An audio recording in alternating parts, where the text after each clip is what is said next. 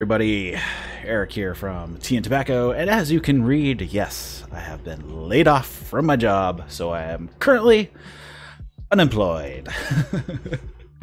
so I will be doing a lot more on this channel. Uh, just if you are watching this as a VOD, just uh, check in for a few minutes. Just want to say a few things. If you'd like to support this channel to keep it going, you should head over to my subscribe star. It is down below. We have some, I switched up some levels. There are some new rewards and whatnot. We have t-shirt designs that are heading to the printer tomorrow. So I will show those. Those will be uh, uh, up on Subscribe Star probably tomorrow, so you'll at least be able to see the designs. We have a couple designs. If you stick around later, I'll I'll import them into my my streaming software, so I can actually you know show them to everybody on the stream but definitely check out the subscribe star is in the link down in the description. Head over to our discord as well. Link is also down in the description. Come hang out with us um, and all that fun stuff. I am looking to get everything set up so it can be good as possible and i'll be making a ton of content starting tomorrow because i have nothing else to do right now. So I will be making a lot of content. I have a massive list already of uh, how-to stuff. So I have some, uh, I don't know, maybe like 30 plus videos I plan on making that are not just reviews of pipes and cigars. Um, some of them have actually been made. I'm going to remake some stuff as well. Hey, what's up, Jason? Thanks for joining. Um, how's it going on bex? Um, so yeah i'll be doing a whole bunch of stuff over the next um, you know the next well for as long as i can do it. Um, yeah bex definitely uh, subscribe to the youtube channel. Uh, the it's uh, called tea and tobacco. That uh, that is where all those videos will be over on the youtube channel so yeah, should be good. So I have I'm gonna redo basically my entire how to smoke a pipe video series. So I'll be doing that. I'll be doing a full cigar series. Um, some of the tea stuff I'll leave. I'm just going to add onto it. Hey Garrett, okay, got it. Um, and then yeah, I, everybody see people need to use the like the same uh, same alias across platforms, then they'll know who the heck I'm talking to because some people some people use so many different uh, uh, tags. So uh, let me drop this actually into the Discord because I am live right now and I need to let my everybody know that I am live because that'd be good. Um, hey, what's up, James? How's it going? Um, so yeah, uh, like I said, t-shirts are coming. I have I'm going to be doing a whole bunch of videos this week and subscribe star i moved everything over there. You can still use patreon if you want but uh, there's only one level there because patreon is kind of uh, anti everything this channel is so i moved over to subscribe star but nobody has moved over with me yet. Hopefully that will change soon since i will be going pretty hardcore um, how's it going, James? Uh, the that corner one coffee has not come back into stock, and I'm a little bummed about it. And my wife is really bummed about it. So I might have to find her a new coffee that's comparable to make cold brew out of. So let me know because she's she's like jonesing for some good cold brew coffee. Like she just we just bought some beans at the store of a random brand that was like a medium roast, and she is not happy. So we need we need the corner one coffee to come back, or we need to find a comparable thing. Um, so, anyways, um, I don't even know what to talk about because obviously a lot of people are watching this live. But uh, for those who watch VOD, uh, I think that pretty much covers it. I've been laid off from my main job. I will be working on Tea and Tobacco and all my other projects pretty heavily. Go subscribe to those other ones as well. The links, oh crap, I need to put those in the description. But I do a, a wrestling podcast. It's called That's Wrestling. I also do gaming uh, on a channel called Zoix Dark. So definitely check those out. And yeah, will be good. So let's go to the live. Uh, already we have Jason. I want to branch into full English. Blends any tips? Uh, yeah, I guess it depends on what you're looking for and what you currently smoke, and then we can probably send you in a a direction that will be good for you. Um, like if you're already a cigar guy, you can just go headlong. I'd say go go headlong into uh, full English blends because they. I find most people who are coming from cigars really like the English blends. Um, tends to be pretty uh, very very popular and then you can try you know other stuff as well but uh, let us know where you're coming from and then we can direct you so we don't um, you know blow you up real real quick but i'm like a full you know lat bomb type of blend guy myself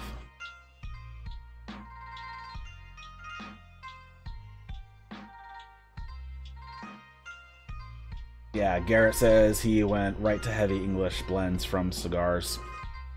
I'm the same. but That's what drew me the most. Uh, can anybody let me know if the background music is too loud or if it's uh, mixed at the right level? It's just hanging out there in the background. Because in my monitors it's loud, but I have it turned down on the stream, so I'm not listening to this direct stream at the moment. Uh, let's see if I got it out. All right. I will save this image and I'll upload it as the uh, thumbnail because it's awesome. Uh, let's see. I get here, in tobacco, save. All right, and I'll edit, change the thumbnail. Now I should have a fun thumbnail that that Sparky made for me. He makes all of my thumbnails and does a great job.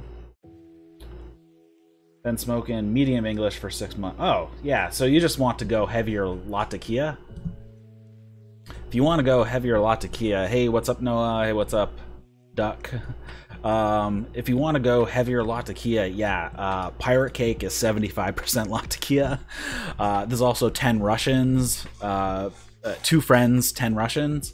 It's 50% Latakia, so those are both heavy. Yeah, Star of the East is another super heavy Latakia based blend um, from Cornell and Diehl. So, yeah.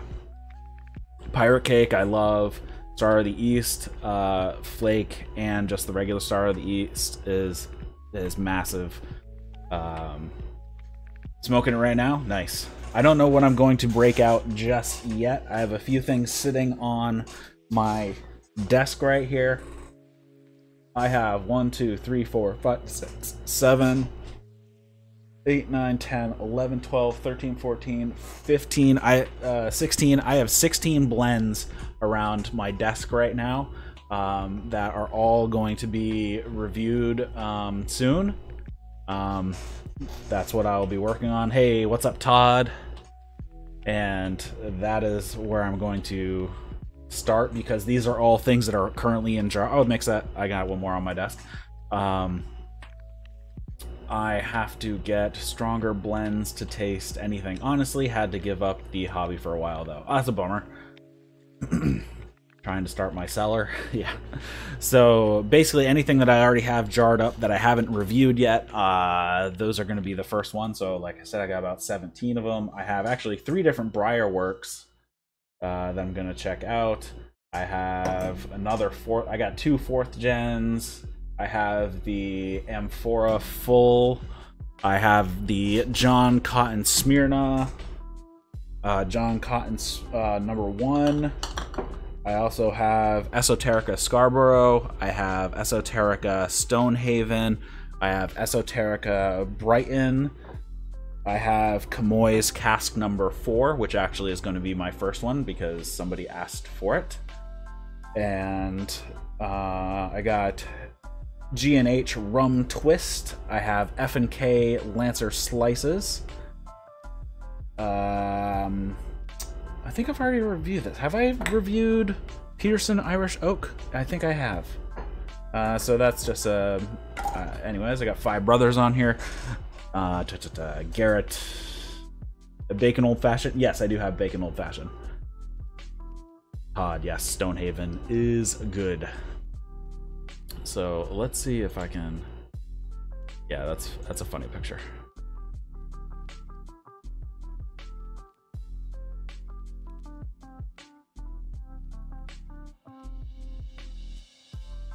Uh, da, da, da. So yeah, I will be reviewing all types of stuff. I'll try to get as much filmed as possible. I yeah, like I said, I just got a ton of stuff I'm working on, and hopefully I can start earning some people's support during this time while I have no job. Because you know, actually, let me these aren't nearly as annoying as my as my big cans, so I'll just switch out. Is my puppy in here? Oh yeah, she is. She's sleeping on the floor behind me. Uh yeah.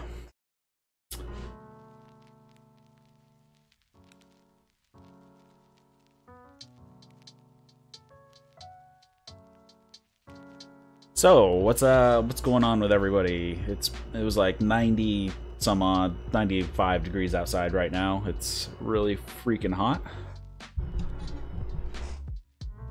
I am trying to decide what to throw in a pipe here.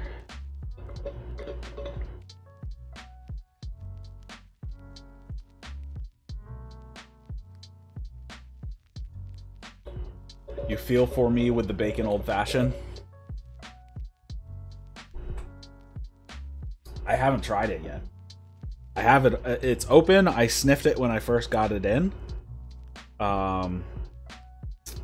So it's actually it's actually four years old at this point. So let's see. Uh, let's see what it's like.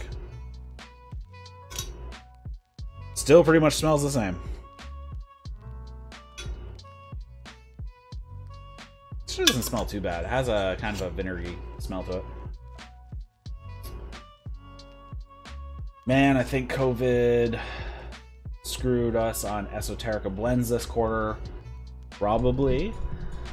Wouldn't be surprised. Noah been busy doing odd jobs for family. Uh, let's see, I'm gonna need to subscribe and like the stream. Bye. See you at 6 p.m. if you're still. What time zone are you in? Because it's 8:20 now.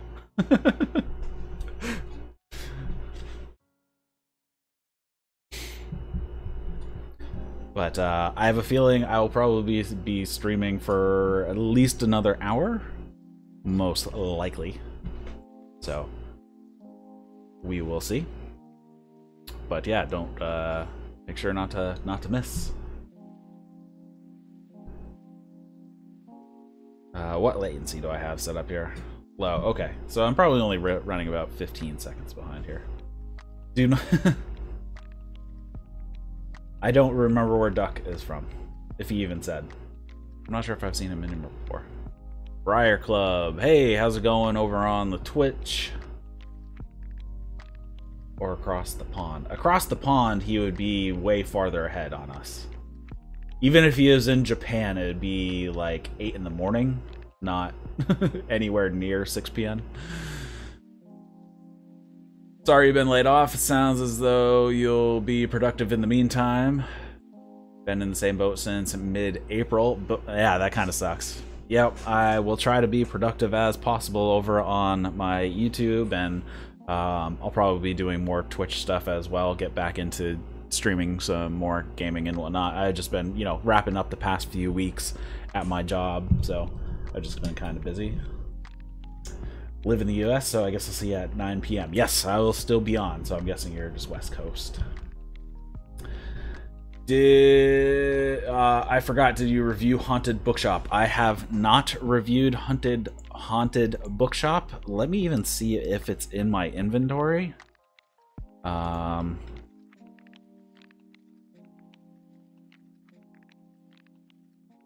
Uh, it is not even in my inventory so I don't even have a tin of it. So, not sure when that's going to get done. See you later, Duck. Uh, but yes. So, I do not have any Haunted Bookshop. I don't have any in stock. I have not had it before. So, I will have to get some at some point. Also, you can send it to me if you want. Um, anything that gets sent to me gets uh, put to the top of the pile for for review status.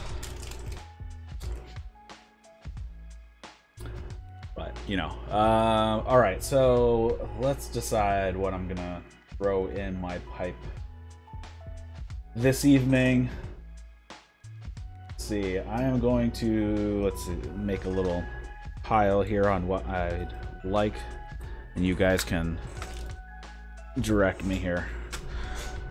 Uh, all right, so of the stuff that I have out,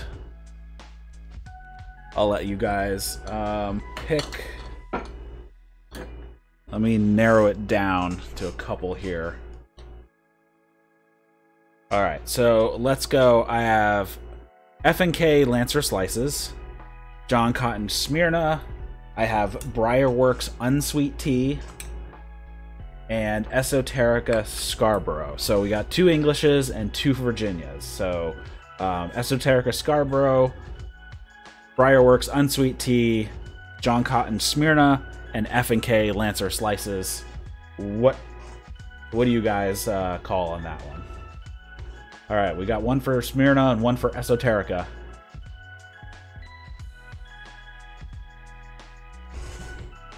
So we got a tie running at the moment.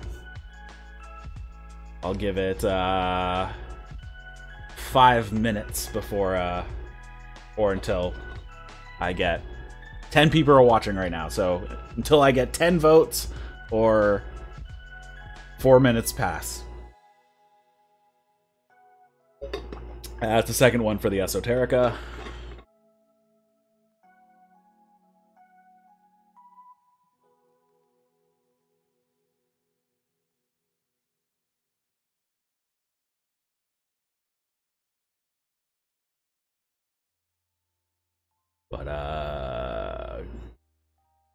Briar Club says Esoterica, so that's three for the Esoterica.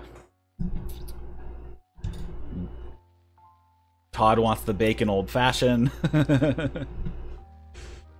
uh, sorry, that is not in the list of what I'd like to smoke this evening, so.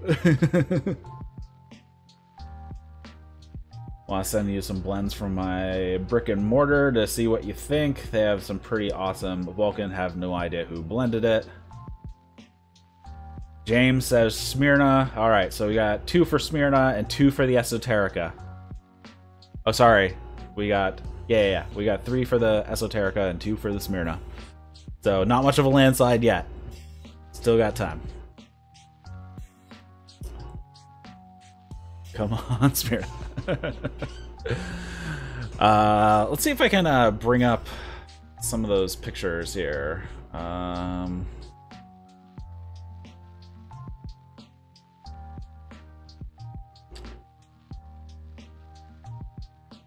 Let's, uh... Did I even download them from? I don't even think I downloaded them off of Discord just yet. Let me pull those.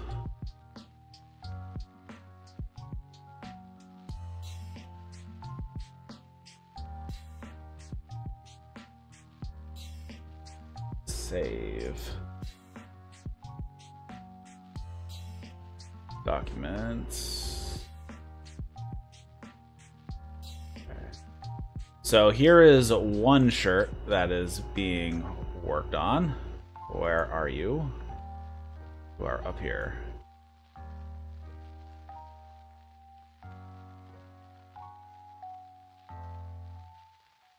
So there's one shirt that we have.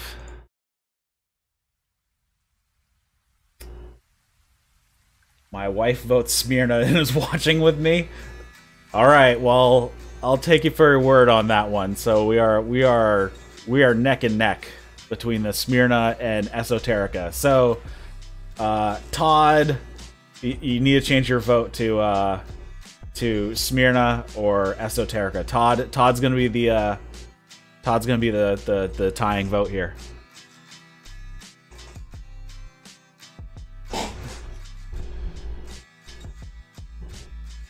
Uh, I'd have to pick Briar Club. I gotta pick the pipe once I know if I'm going with the uh, with the English or am I going for the Virginia. And then I will pick out a pipe.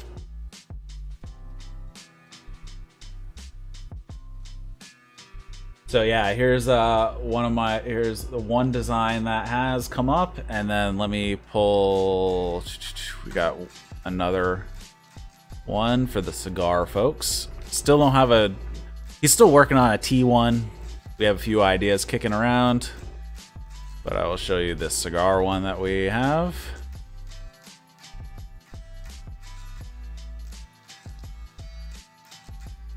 Save that. Save image. Downloads. Save. So there's that one.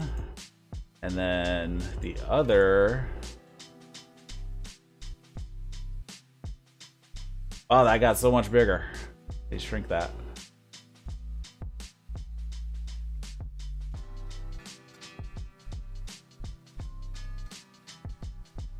There's the other one.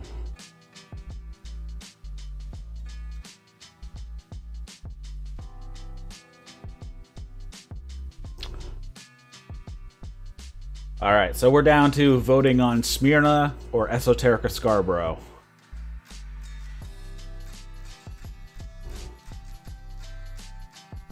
And then I will, uh, I'll give you some options on pipes. but uh, here's the T-shirt for the uh, the the cigar fans. So, a cigar themed one, and then the pipe themed one.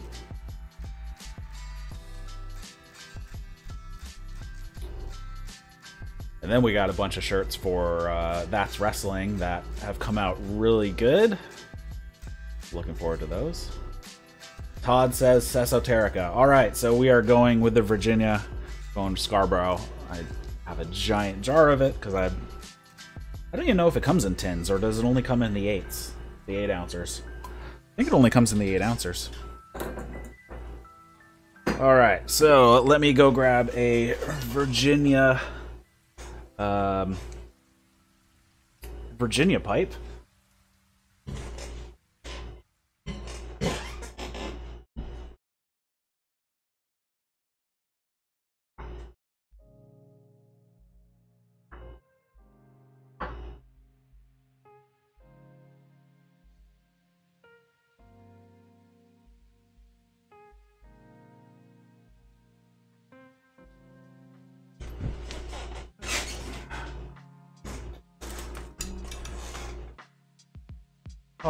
So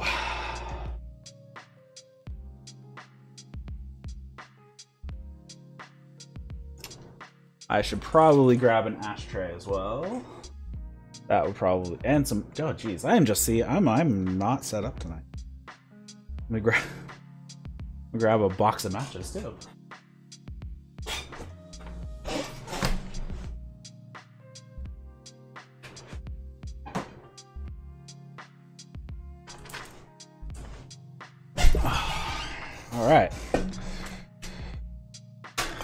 Matches, ashtray. All right, so for pipes this evening, we have. Yeah, kill the t-shirt here.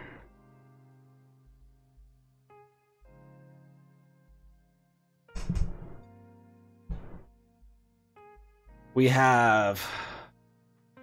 I'll have to hold it back. This is my Ehrlich freehand. This thing's a freaking monster. Giant beast. A giant piece of wood. So I got the Ehrlich. I have my Winslow Crown Viking here, or the uh, Bent Brandy. This is one of my favorite pipes. And then I have a good old Pipes Unlimited Canadian. What do people think? Canadian, the bent brandy or the free hand.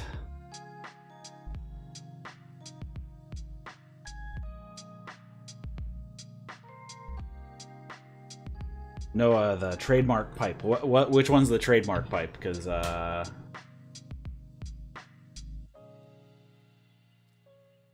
no one going for the freehand. I don't think I've had this in many videos at all. I think I've used it a ton on on any videos. Uh oh, we got the bent brandy and the freehand.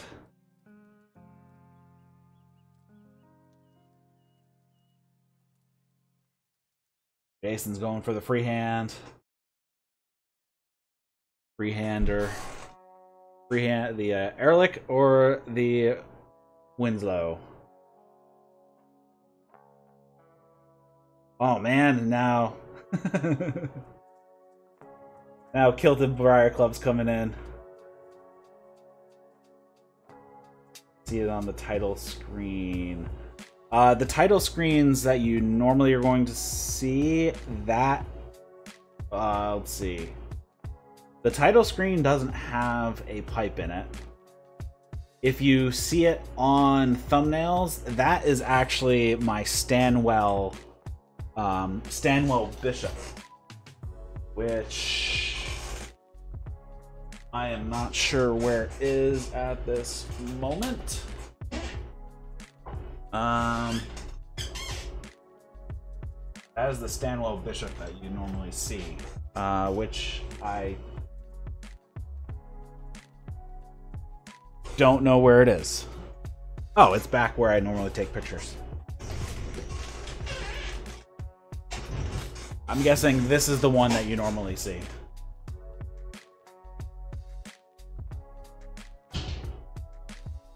This is my Stanwell Bishop that is pretty much in all the uh, thumbnails of all the reviews.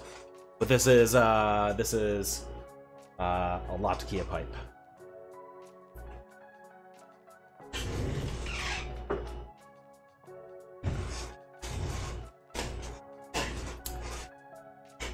All right, we are going with the Ehrlich. They're they're a local well, they were local when they were open. Um, they're local to me, at least.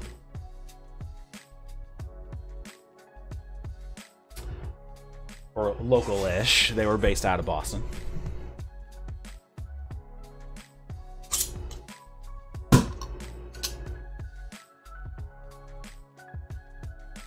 Smells like smells like uh, hay with a hit of a little bit of grape in there.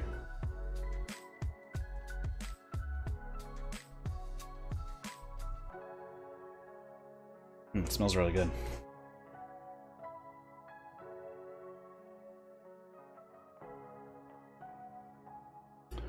Uh, it says can't go wrong with a corn cob. Ah, uh, you can. What's up, baby? I'm good. I'm not gonna. I'm just gonna make a snack. Um, crap, what was I saying? What was I saying now? Oh yeah, you can go wrong with corn cobs, but I'm not a huge, huge fan of cobs in general. I just use them for for uh, aromatics.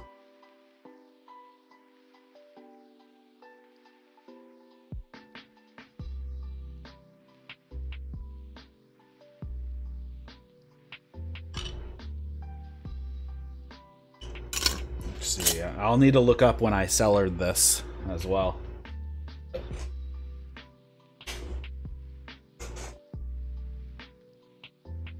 Yeah, Ehrlich um, pipes were made in um, in Boston. There, there's a pipe shop that was there forever. Um, eventually, uh, the I believe it was the guy. Eventually, his son came in, started making some pipes as well, and then uh, unfortunately, they went out of business sometime. I want to say in the 90s. So this this one is probably somewhere either early 80s, late 70s, I think. Um, they didn't really date their pipes at all. They didn't really change their logo, so dating this is a bit difficult. Not really sure.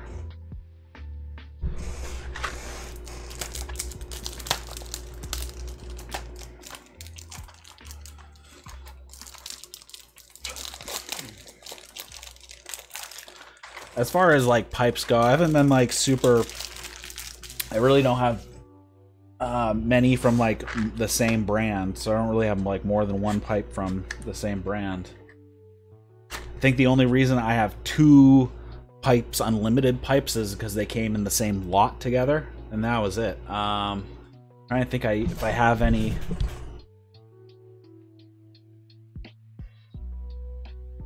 Nope, I don't have any pipes that are. I don't have it more than one pipe from from a single maker. For, I don't think my local area has any current pipe makers that I'm aware of. So we had at least a few in the Chicago. I bet there's I bet there's guys in the Chicago area. I mean, why do they do the pipe show in Chicago?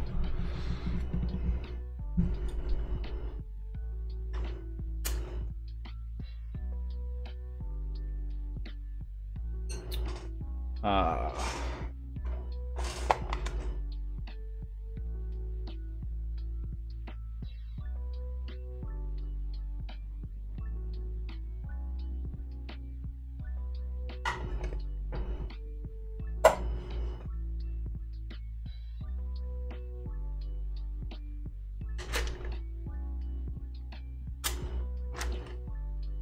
Garrett misses home. Where's home? Or where was home?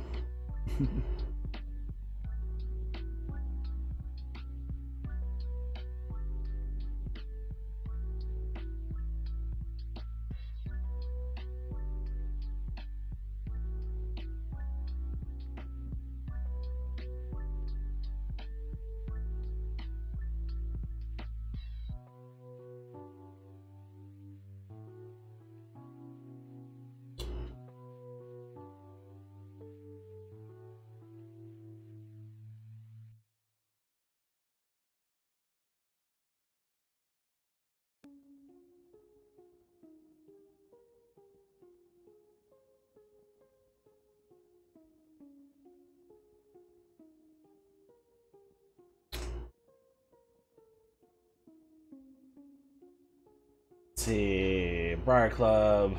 I'm sure I've been out of the loop for a while. I did several shows a year from around 94 until 2016. Did most of the Chicago shows at that time. Uh, but before the smoking ban in 2008, could smoke everywhere in that resort in the early days.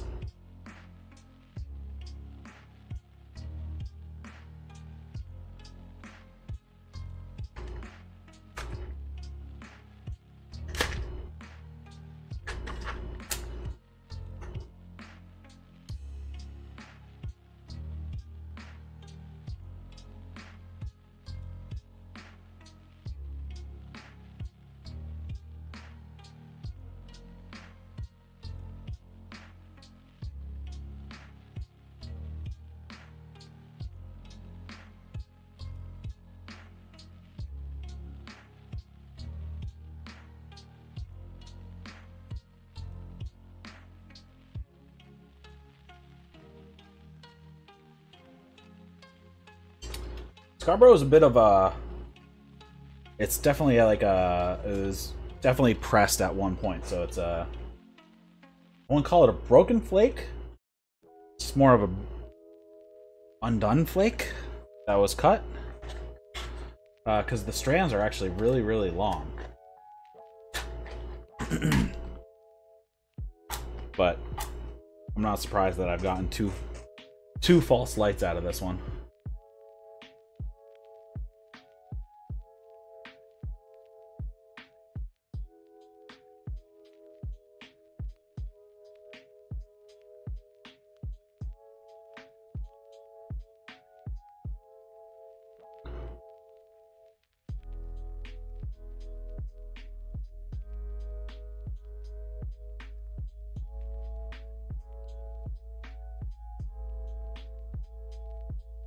Guilty Briar Club sounds like you have a great uh, eclectic collection there. By the way, yeah, uh, I do have a video on my entire collection, but or my main collection.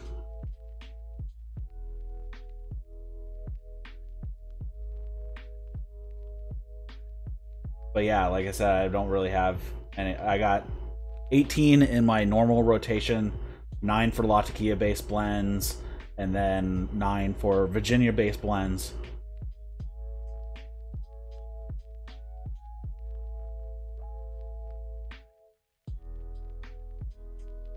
And I, like I said, I only have two Pipes Unlimited pipes because they came in the same lot. But other than that, I don't have any duplicate of makers. Um, my favorites are the Winslow Crown Viking, this one here, uh, the Stanwell Bishop that I already showed, that I put back on the shelf. Not only are like my favorite pipes just because of the pipes, but uh, actually both of them were purchased by my wife, so that makes them, I guess, a little, uh, a little more sentimental. But um, just the pipes themselves, they would be my favorite pipes either way. Uh, I would actually like to get some more uh, Winslows because I'm a big fan of the shape that they do for the bent brandy, but they're about 150 bucks for kind of the lower end ones of theirs.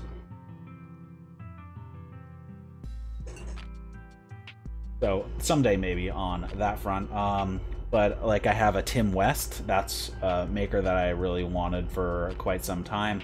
What's up, dude? Reviews and slightly burnt toast. How's it going, man? Um, so I got Tim West. That's one that I really wanted for a long time. I lived in Columbus. He was based out of Columbus, but he, you know, he's like classic freehand guy that he made tons and tons of really cool freehands. So I, am a big fan of that pipe that I have from him. I picked it up one year around Christmas time. Somebody on one of the forums was selling it, and um, the price was right, and it looked really cool. So I picked it up. Uh, really happy with the Tim West. So I'd definitely like to get more Winslows, more Tim Wests. I'd like to get a Boswell at some point, uh, just because they make ridiculously huge pipes, and I kind of want one. Because I just love gigantic pipes. Like, the chamber doesn't have to be massive. So, like, the, the chamber on this one, even though, you know, it's the size of my palm, uh, the chamber is relatively normal. Um,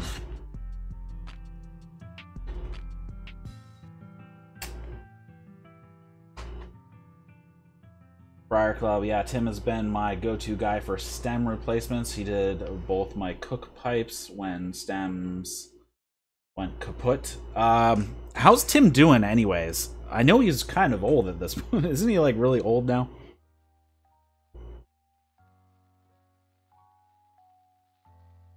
I haven't really heard much from him.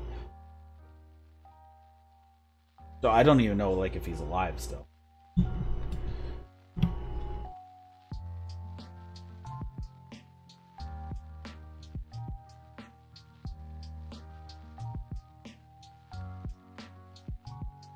So, like that, I like these Ehrlichs. These are pretty cool.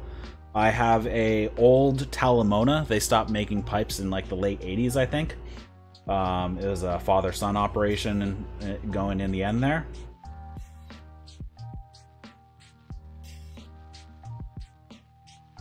And I have some just from small makers. Um, one I commissioned directly from C Pipes, letter C. Uh, he's out of I want to say Portugal. He's definitely in Europe. I'm not. It could be Czech Republic. Uh, also, I got one from BR Pipes, but his Facebook has been not updated in quite a few years now. His website is down, so I don't know what he's doing. He was over in Europe. I bought one directly off of him.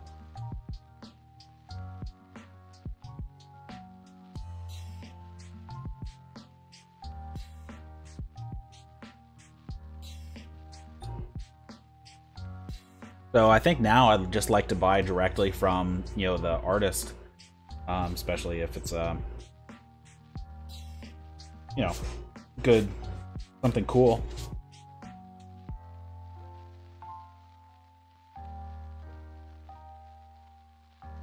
I'd love to get a Sabrina pipe, but her pipes are so expensive. They're awesome, but they're really expensive. She does such good work.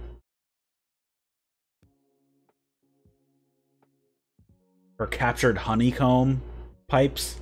are insane. Sorry to hear about the layoff. I had to walk from my job in healthcare. How long have I had that hat? Uh, this hat I've probably had, I don't know, three years, probably. This is a fan set, and I don't think this particular hat is sold on Amazon anymore. Uh, I searched for it, but I don't think I have found it.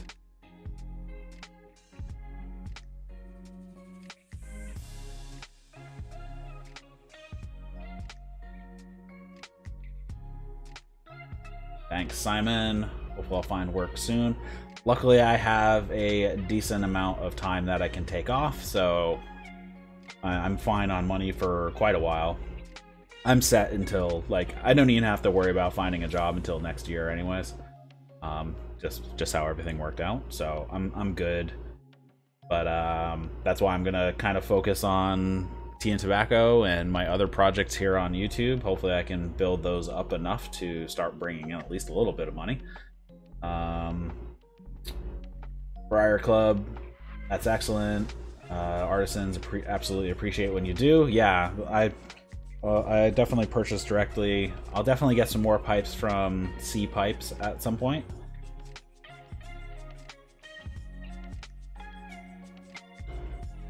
I think I need to let this dry just a little bit.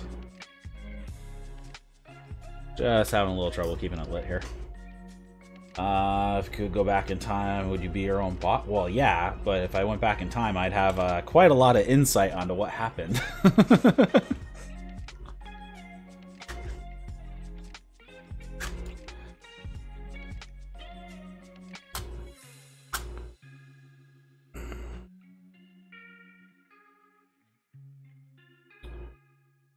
So, anyways, slightly burnt toast. This hat is a fan set. Um, but like I said, I don't know where you can get it now.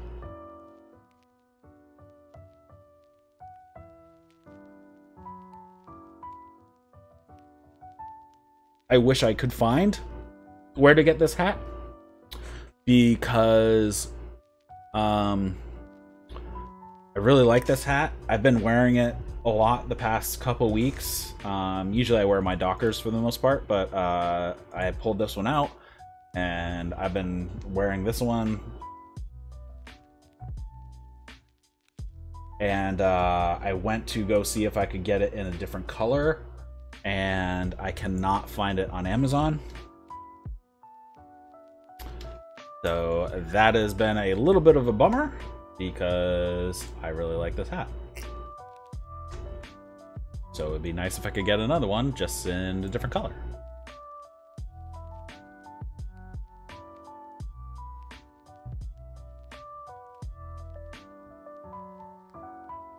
This is why I usually don't smoke a pipe on the stream, and I tend to go for cigars because it always goes out because I'm always setting it down, talking to you guys, setting it down, talking to you guys, searching for something on the on the net somewhere.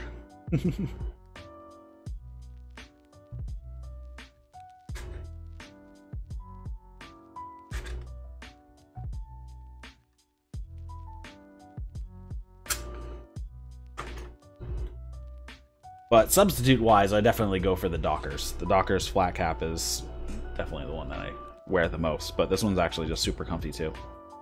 This one's actually kind of cool too. I've never seen it before. It actually has a drawstring in it, so you can tighten it if you need to, but I have a fat head, so...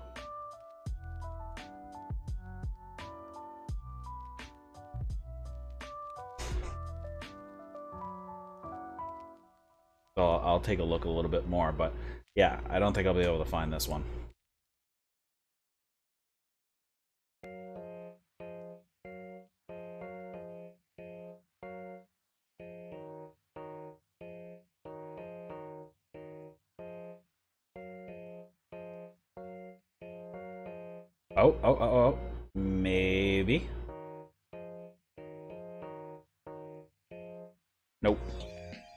So I found the listing, but this particular cap is not there anymore.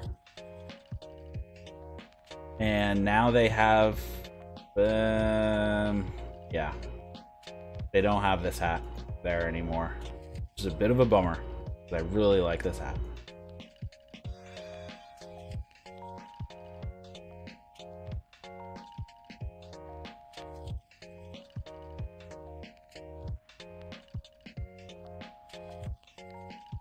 Nope, that's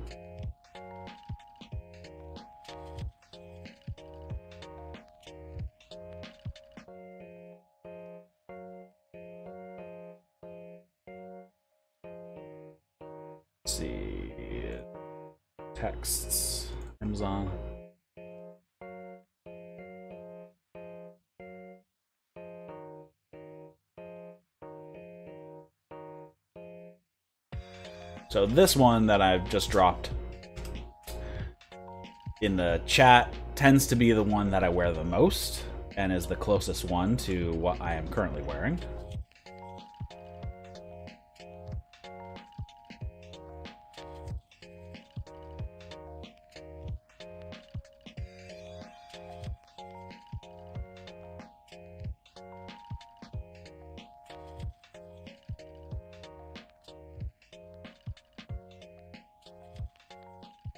That's some Samuel Gawith Hamsun Flake.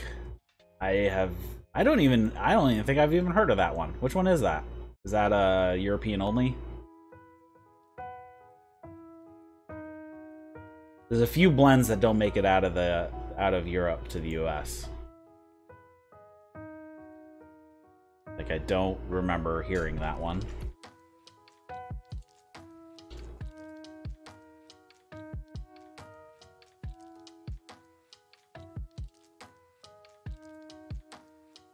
Yeah, so I just went to the listing and it is no longer available. And I am kind of mad about that. So I guess I'll have to remove that listing from my uh from my videos.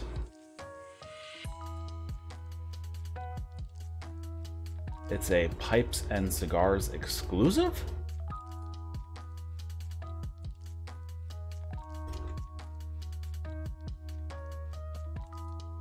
From Samuel Gawith? I don't know why they'd have an exclusive with pipes and cigars.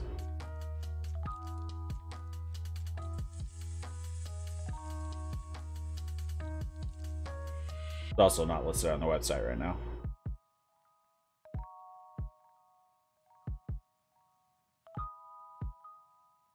But my well, um, so this one actually has ear flaps, and so does that Dockers one. But the ear flaps can just stay up. I, for the Dockers one, I didn't even realize it had ear flaps until I had it for like three years. That's how like not noticeable they are that they're stuffed up, that they're tucked in. Uh, I didn't even realize it had ear flaps. So yeah, don't worry about the ear flaps. Like this one has ear flaps. You can you can just fold them back up. Um, and that Dockers one, same way. So the ear flaps are just uh, are optional. You don't have to use them. They're they're optional use.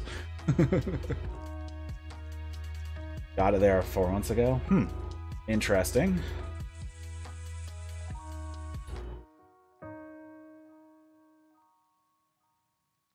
Yeah, not not sure why they would have a uh, why they would have a exclusive on a Samuel Gawith.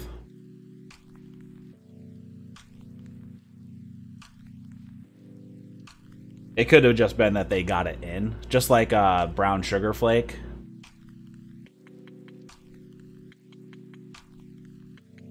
might be a new hat in your future. Yeah, use the link. It's an affiliate link. I get like 2%. Don't worry, you pay exactly the same. um,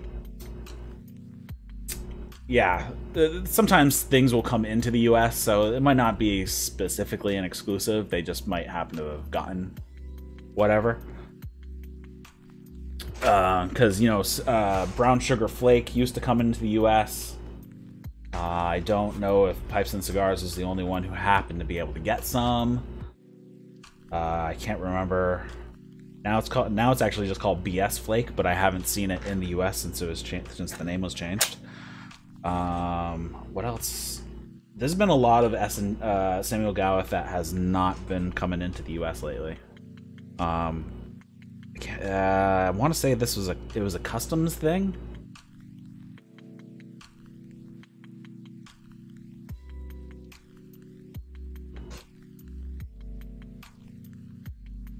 Used to call them English caps or golfing hats. Yeah, um, flat caps. Some people call them newsboys, even though this style is not a newsboy. They call them herringbones as well. The official tea and tobacco hat, yeah. Maybe I'll get like, maybe I'll find a, a like an embroiderer to get like a patch, so I can just like sew the patch on like right here.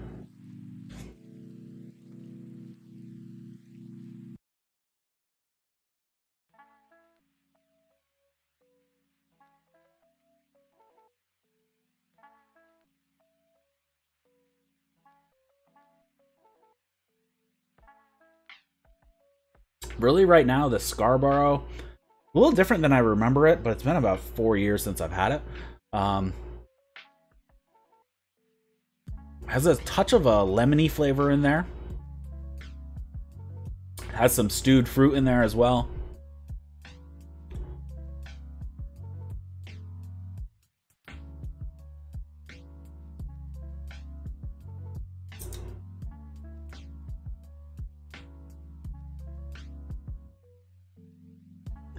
Slight mothballiness on the um, hail.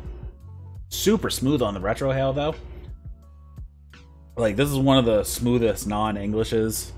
This is probably the smoothest non-English I've had as far as the retrohale goes. There's no burn. It's just nice and creamy.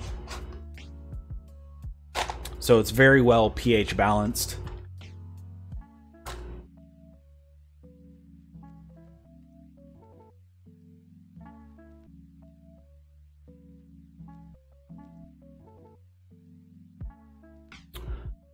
Yeah, it would be cool if uh, I I'll see what I can do if I can find a patch maker.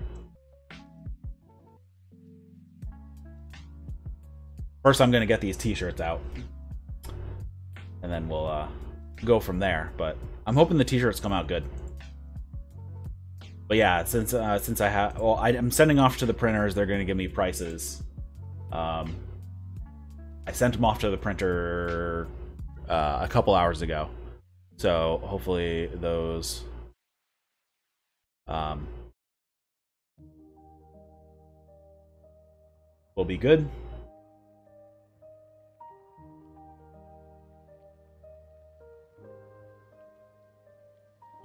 Yeah, there's just a weird touch of lemon in there. And that kind of stewed fruit. A little bit of mothball on the uh, retrohale. I mean, it's not bad. Um, there's just nothing really I can pick out at the moment. I remember it being a lot sweeter. Could just be my palate tonight. I did have Mexican food earlier before I got on here, so...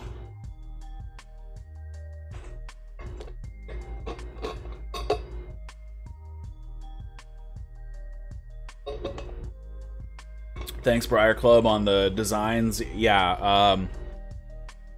I can't say enough good things about uh, my graphics guy. Uh, he's just he wants to uh, kind of change change professions at some point, and this is kind of like a side gig for him. So he's been doing all types of stuff um, for me, which I have been extremely grateful for for how much he's been able to contribute to my projects. He does. Um, he does graphics for my wrestling channel and I ping him multiple times a week for a new thumbnail because I do uh, news segments, news segment videos, you know, five, five or six times a week, plus the podcast thumbnails that have at least I do at least one episode, sometimes two to three episodes a week.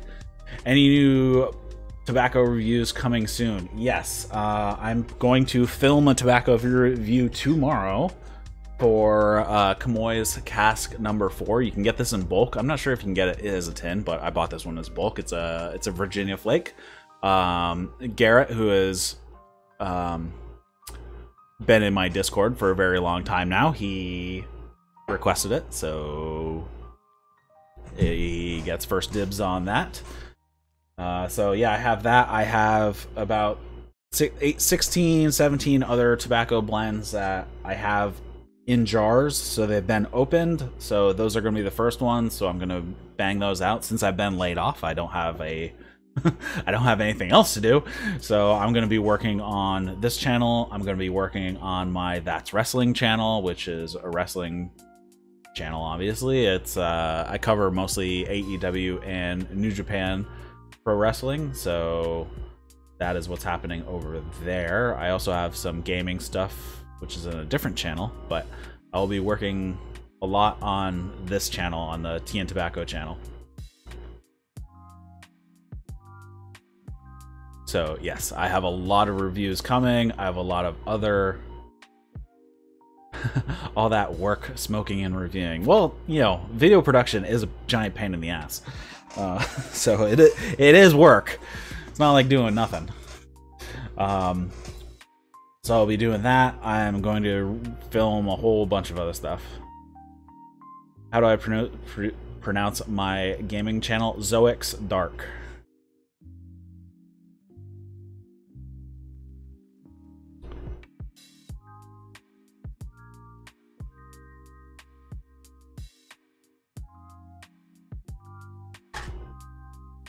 Don't have a kappa like we do on Twitch.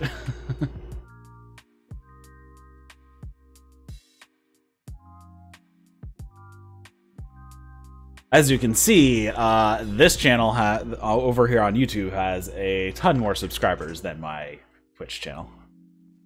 I think you should do bacon old fashioned after that. I will do.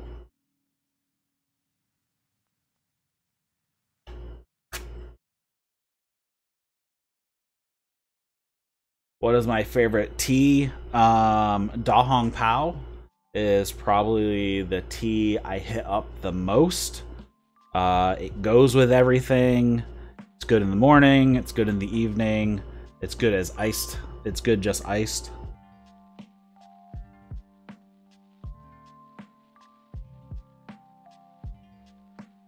So Da Hong Pao is probably the tea I drink the most of.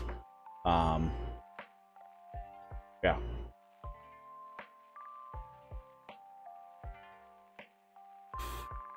Hey, Duck. Duck is back.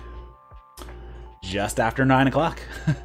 uh, what's my preferred pipe tobaccos and cigars? Um, cigars I'm mostly all over the place with, but my favorite cigars are the Rocky Patel's 1990 and 1992. Um, Gurkha has discontinued at this point, although I think they just call it the Shaggy now. Uh, they had a vintage Shaggy foot, which is like 10 year aged uh, stuff. I really like the Cohiba Nicaragua. Those are good. Uh, they're super strong though, so I don't really smoke them often. The La Perla Habana White, uh, the White Pearl, excellent, excellent smoke.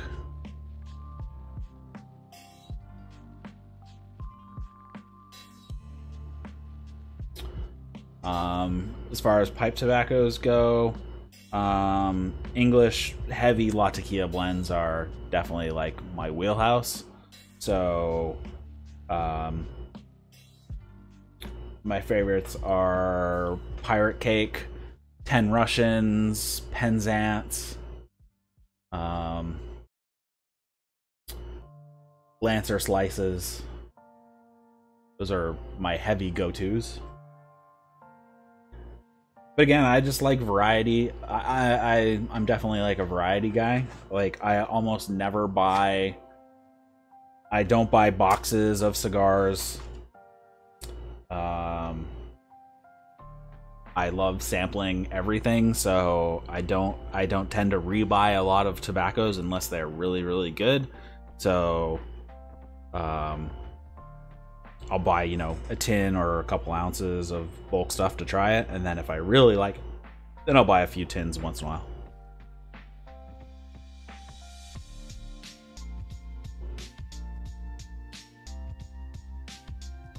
But I always buy Penzance if I have it if I have access to it.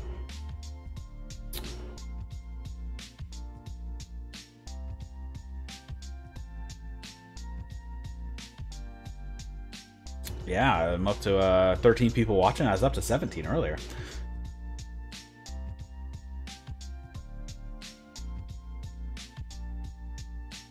You get custom six packs. Yeah, I do that at like the uh, if I'm gonna go get like a, a site that we have a we have a really cool um, beverage place that you can make your own custom six packs however you want. So I I'll buy you know uh, six different ciders to try.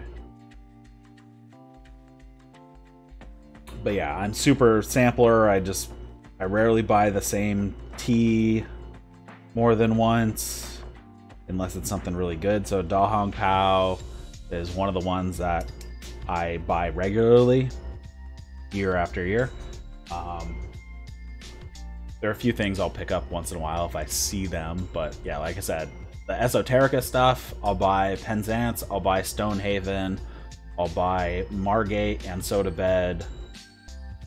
Um, what's it? Dunbar, Durbar, I don't remember.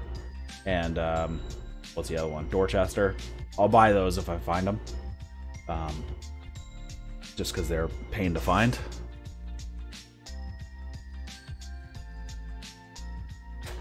And when um, when Suge was being discontinued, I bought like 15 tins of Raijin. I am back. Just fix your slide. Oh, yeah, the slide to your pool. How's the new house doing?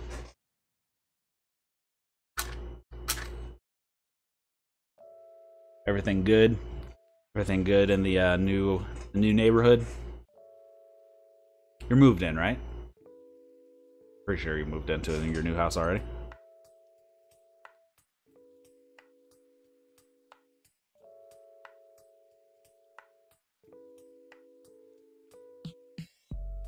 Just named like your top six tobaccos.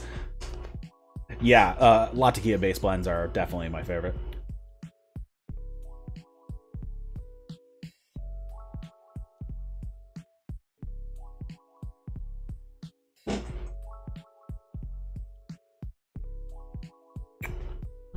Uh, yeah, so th those are definitely the top of my list. Um, somebody asked for a humidor tour on the YouTube channel, so I will shoot that, and you can see all my humidors. What is Lancer Slices? Never heard of it. It's awesome. It's a heavy Latakia uh, flake. It only comes in bulk. I believe Smoking Pipes has it right now.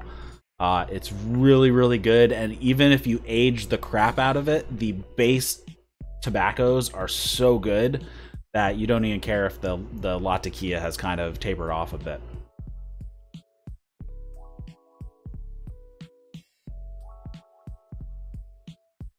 Thanks, Duck. Glad you appreciate it.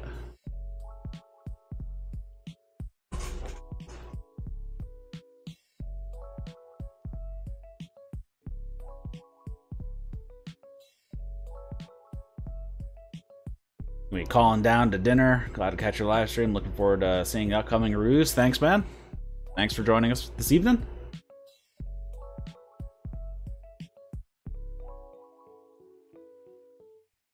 Been so hot, I have not been drinking tea.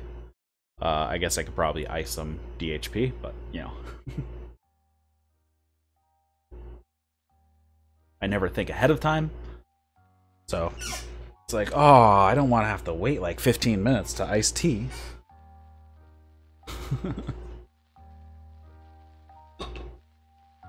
I have a moth running around in here.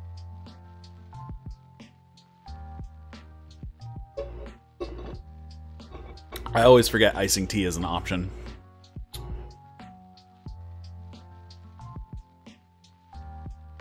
My wife steal my dog? Think she did.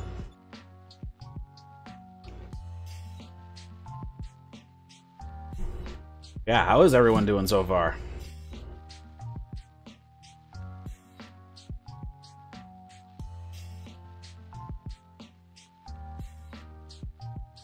It's been so hot outside. I like went outside just to walk to the car and it's like, oh my god. Like walking into a sauna. and It's like Super high percent humidity. Not fun at all.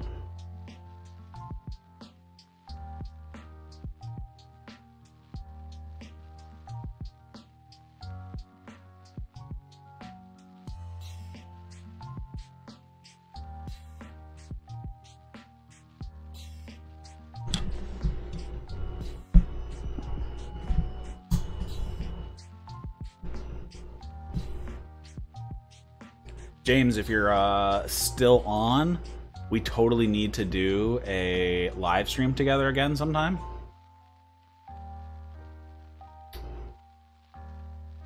Uh, supposed to be cold front of 85 tomorrow in Michigan. Yeah, it's supposed to be like 91 here tomorrow. Heat has been rough. Is uh, is it someone there to I am not sure what Todd is trying to say. Is it someone there to Latakia Flake by H.H. McBurns? I'm guessing you're trying to do speech to text. I'm guessing is it something like Latakia Flake by H&H Mac Baren? Uh, something along those lines. That's a really bad uh, uh, speech to text if that's what he's trying to do. Uh, it is kind of like it, but uh, I think Lancer Slices is better than Latakia Flake by H, uh, H&H. H.H. Mac Baren.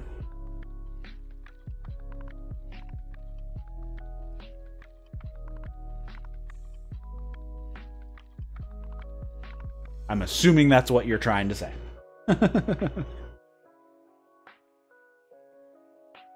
Or you might want to check the type of herb that you have put into your pipe.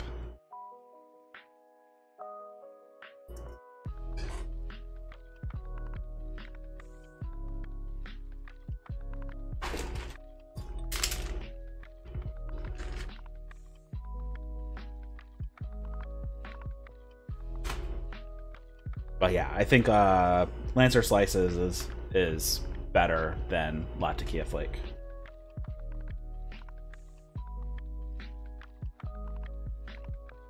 A little moisture build up here.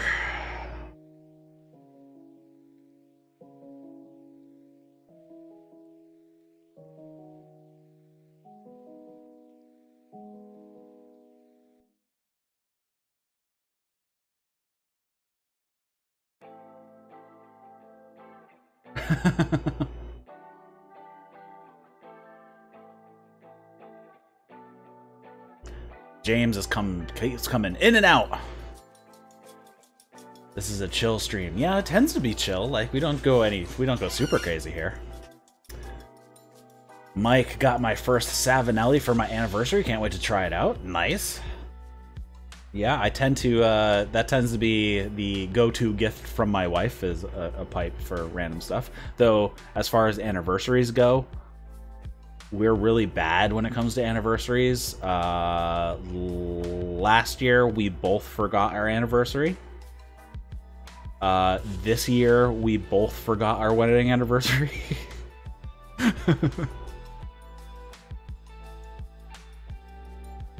we almost always forget our wedding anniversary. Pretty much every year. so usually it's a birthday, a birthday gift.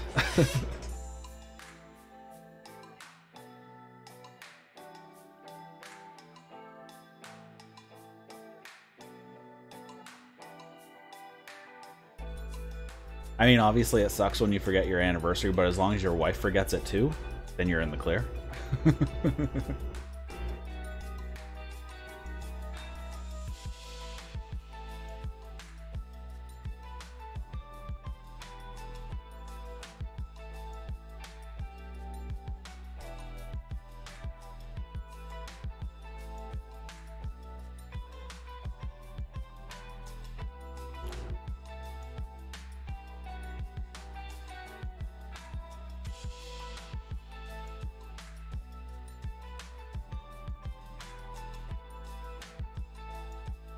What shape Savinelli did you get?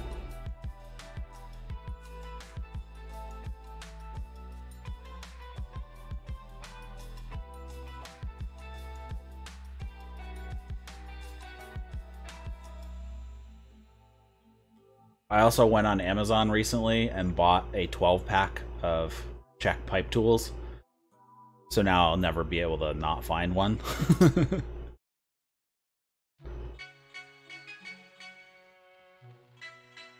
Just got here is the title accurate that we are chilling out or that I've been laid off? Yes, I have been laid off.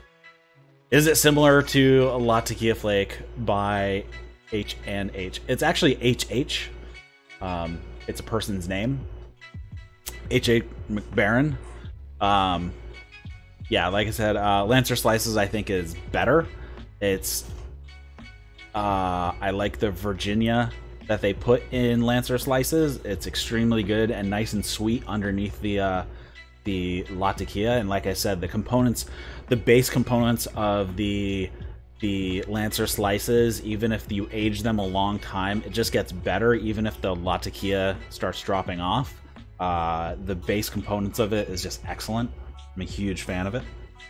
But if you like, if you like the HH Latakia flake, definitely try the the Lancer slices. I think you, I think you'll really like the Lancer slices.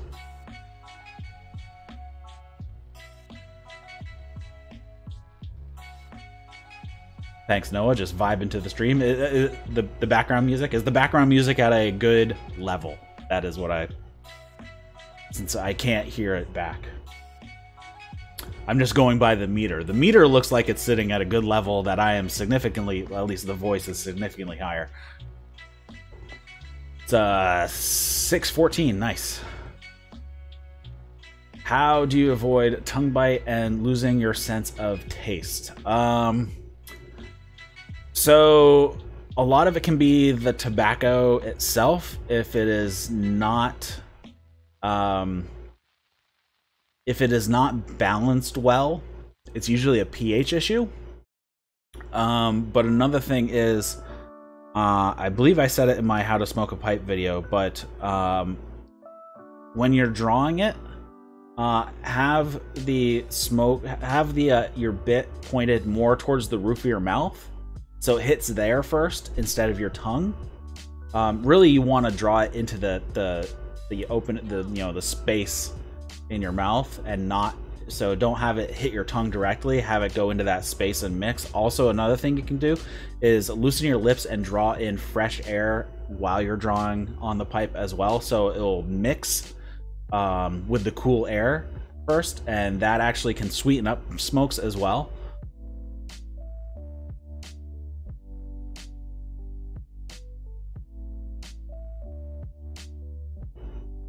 Um, so yeah, so so don't have it hit your tongue directly, and also just loosen your lips a bit and bring in some fresh air as well. It'll mix. Uh, it works with cigars too.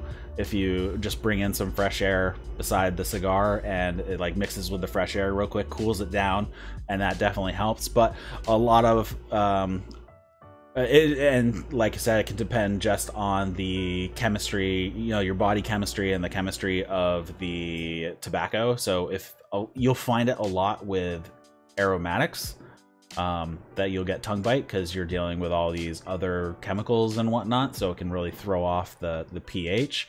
I find uh, La based blends don't tend to bite because the the Latakia is a much higher pH than most, and your body's usually running around, you know, the, the inside of your mouth is running around 8 to 9 on the pH scale, whereas other stuff can be much lower. So if it's if it's not a well balanced as far as pH goes for the tobacco, that can be really tongue bitey as well. So it could just be the blend, it could be your just your body chemistry, um, but yeah, those other tips uh, can help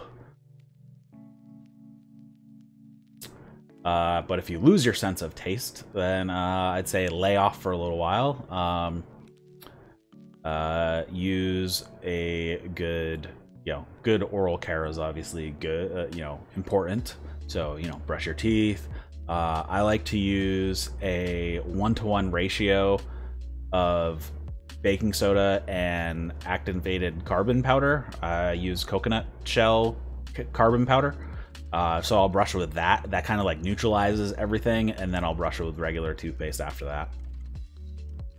So it really like kind of helps uh, refresh everything. Um, also, if you uh, use instead of like using a really like super you know Colgate or something uh, in the morning, use a something like a Tom's of Maine, something that doesn't have any flavor in it. That's going to overwhelm your taste buds in the morning. Uh, also, one thing that I found that really screws your taste bud is artificial sweeteners. So if you drink diet soda and whatnot, that really will throw off your taste buds a lot.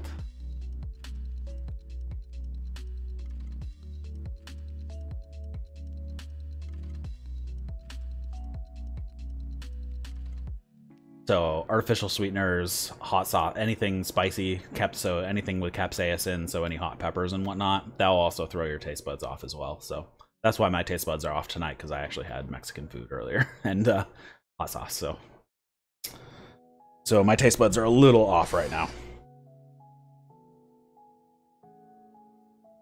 But yeah, artificial sweeteners are by far the worst as far as just binding to your taste buds and not letting go for a very, very long time.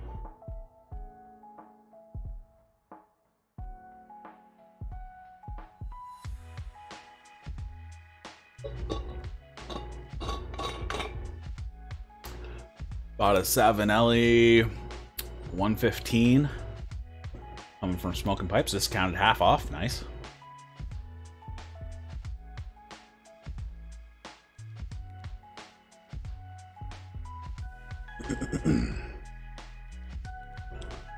keep setting this down, so I just have to keep relighting it. Not a big deal.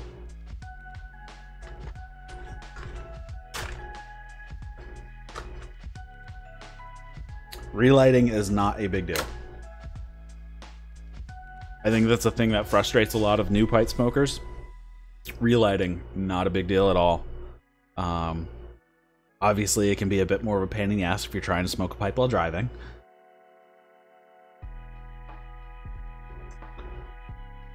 So be careful if you have to relight while you're driving. Really, just don't relight while you're driving.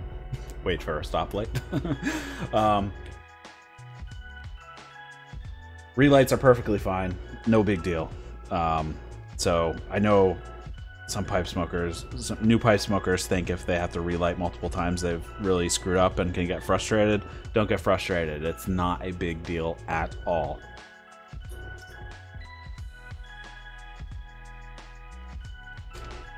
It's all part of the hobby. Yeah, it's it's um make it part just uh chalk it up to being part of the ritual. Um you know, pipe smoking's supposed to be relaxing. So if you if you view the relight as a relaxing part, make it part of the relaxing part. Um view it as part of the relaxing, you know, uh um ritual, then that's not going to be a big deal. When you relight, should you wait a bit for the pipe to cool down? Or only if your pipe is too hot. Um, you don't have to wait. Um, easy way to figure out if your pipe is too hot. Hold it against your cheek. Your cheek, well, most people's cheeks are very sensitive to heat. If you can hold it against your cheek without an issue, your pipe is probably not too hot. Uh, that is why I like big honking pieces of wood like this because it really pulls. It has so much more mass to distribute the heat. Um, it works great. Like a thinner wall, you know, something like this, um, can get really hot. Um, that is one of the reasons why I like you know the big beefy pipes. Uh, these, I mean, these are fine too. You just have to be a little careful If you can't if it's too hot, if it's uncomfortable holding against your cheek is too hot, let it cool down for a bit. But if it is not too hot, you can just go straight to, to relighting. Not a big deal.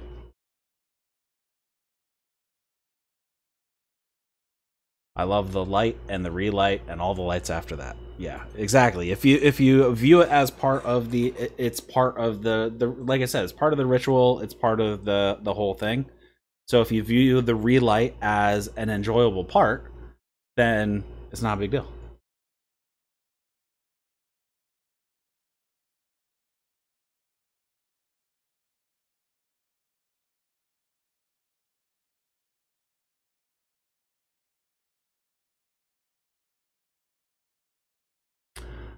You always get my bowl where it's kind of hot in the hand and set it down. Yeah, um, if it's getting too hot, you know, the, the, there's multiple reasons for it to be too hot as well.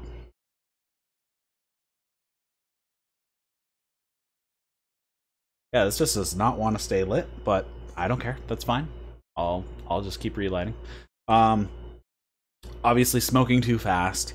Um, if you if another thing is if it's starting to go out, a lot of people will you know try to draw on it to stoke the ember. That is probably the worst thing you can do. Just let it go out and relight it. It's so much better just to do that. Um, it can also get hot if uh, the moisture content is too high because you have to burn it hotter to keep it lit. So then you can accidentally be be too hot right there. Uh, too dry, everything just burns quickly. Um, so you know, there's there's different things, and just uh, mitigate what you can. If uh, it is too wet or too dry going in, then just go accordingly while you're smoking it. Set it down if you have to.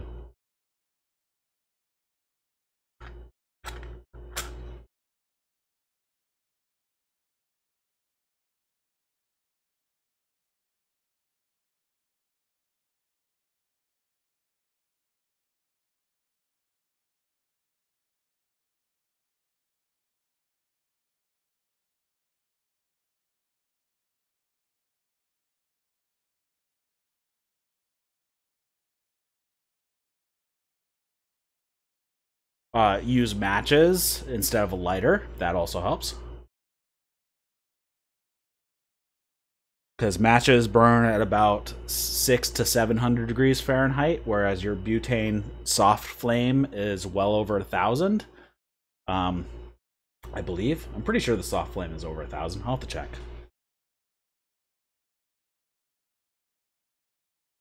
Butane soft flame. Yeah.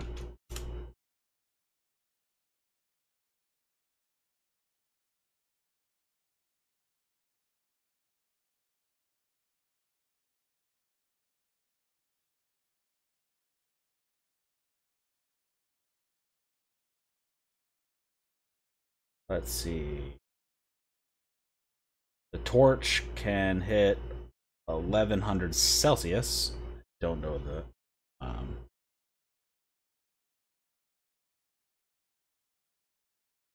around six to 800 Celsius. So, yeah, that's over a thousand.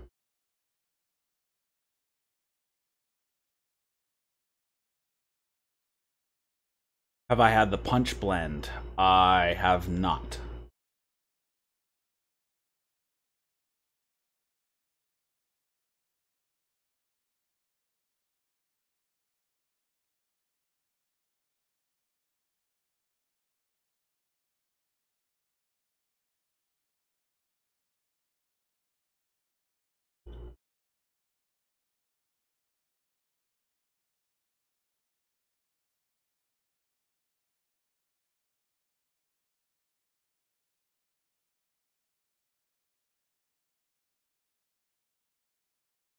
I have not had the special blend Mississippi River.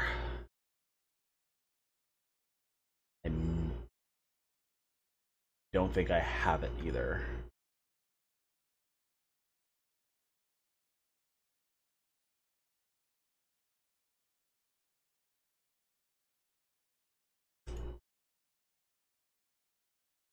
I have a tin of the regular Mississippi River but I do not have the special.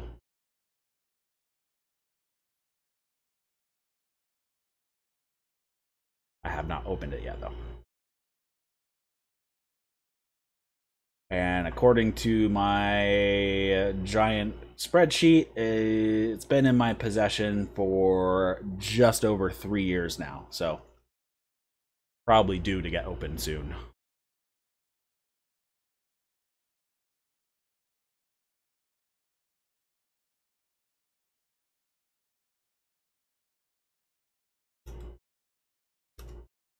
Yeah, I do not have the punch on hand. I wasn't sure if I did or not. There's a few all they all came out at the same time. There was the the the punch, the Gurkha brands, the was there a Macanudo one that came out as well? Like these cigar brand names on uh, a Sutliff brand blend, basically. Sutliff made them all, but they're all. Um, I'm assuming whoever owns Sutliff owns those brands too.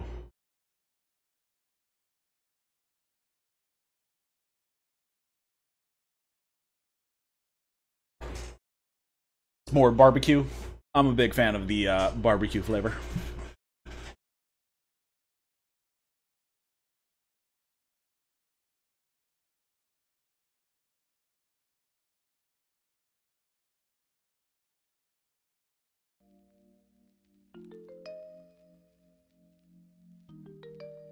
I have a spreadsheet of all my tobacco inventory. Yes, I have a I have a spreadsheet that contains my cigar inventory and my pipe tobacco inventory.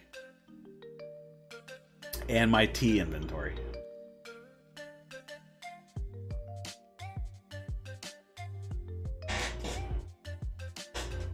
Good to know what you have.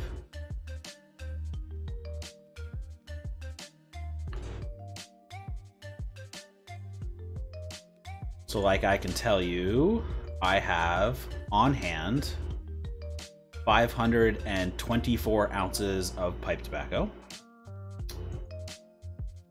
And I have 500 and, oh, wow, that's funny. so I have 524 ounces of pipe tobacco. I also have 524 cigars on hand as well. That's funny. I have 524 ounces and 524 cigars.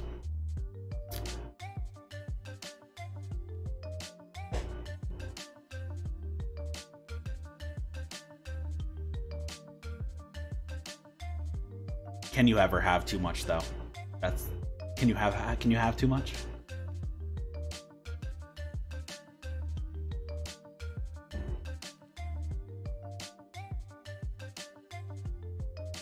I should be getting a new um, temperature controlled humidor soon.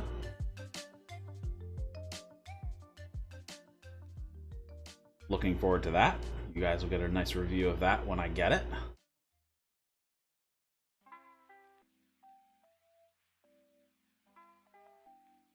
Brands make a new uh, NewAir humidor.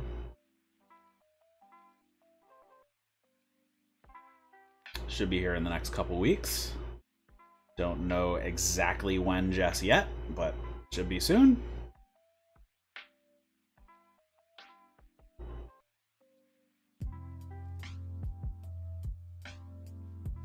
Don't know where I'll put it. I'll probably just put it right on top of this one that's already on the floor. Behind the logo.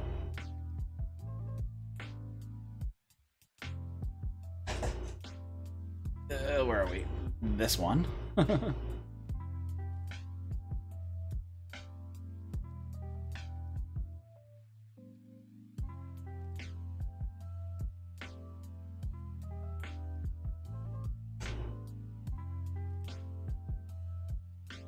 yeah, you got to buy all the stuff now because it's only going to go up in price because the taxes just keep going up.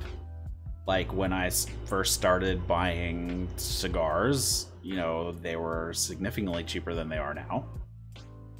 Um, pipe tobacco was significantly cheaper than it is now. Um, I mean, it's probably up about 50% since I started buying pipe tobacco, and that's only been 10 years. I mean, a lot have gone up a lot in price, so get it now. And if it's something, especially if it's something that you can sell her, so if it's a if it's a Virginia-based blend, those you could basically store indefinitely as long as you store them correctly. They will be good in 50 years. Um, so Virginia-based blends, VaPers, uh, anything with Latakia is going to fade over time. But if you vacuum seal it, uh, it will kind of halt the uh, aging process a bit. So vacuum sealing is not a bad thing if you're trying to preserve the state it's currently in. or really, really slow it down. Uh, what's up, Sulfur? How's it going? Not too bad. I'm doing good. Over there on the uh, Twitch stream. Most people are over here on the YouTube stream, so if you wonder who I'm talking to, talking on a uh, different platform.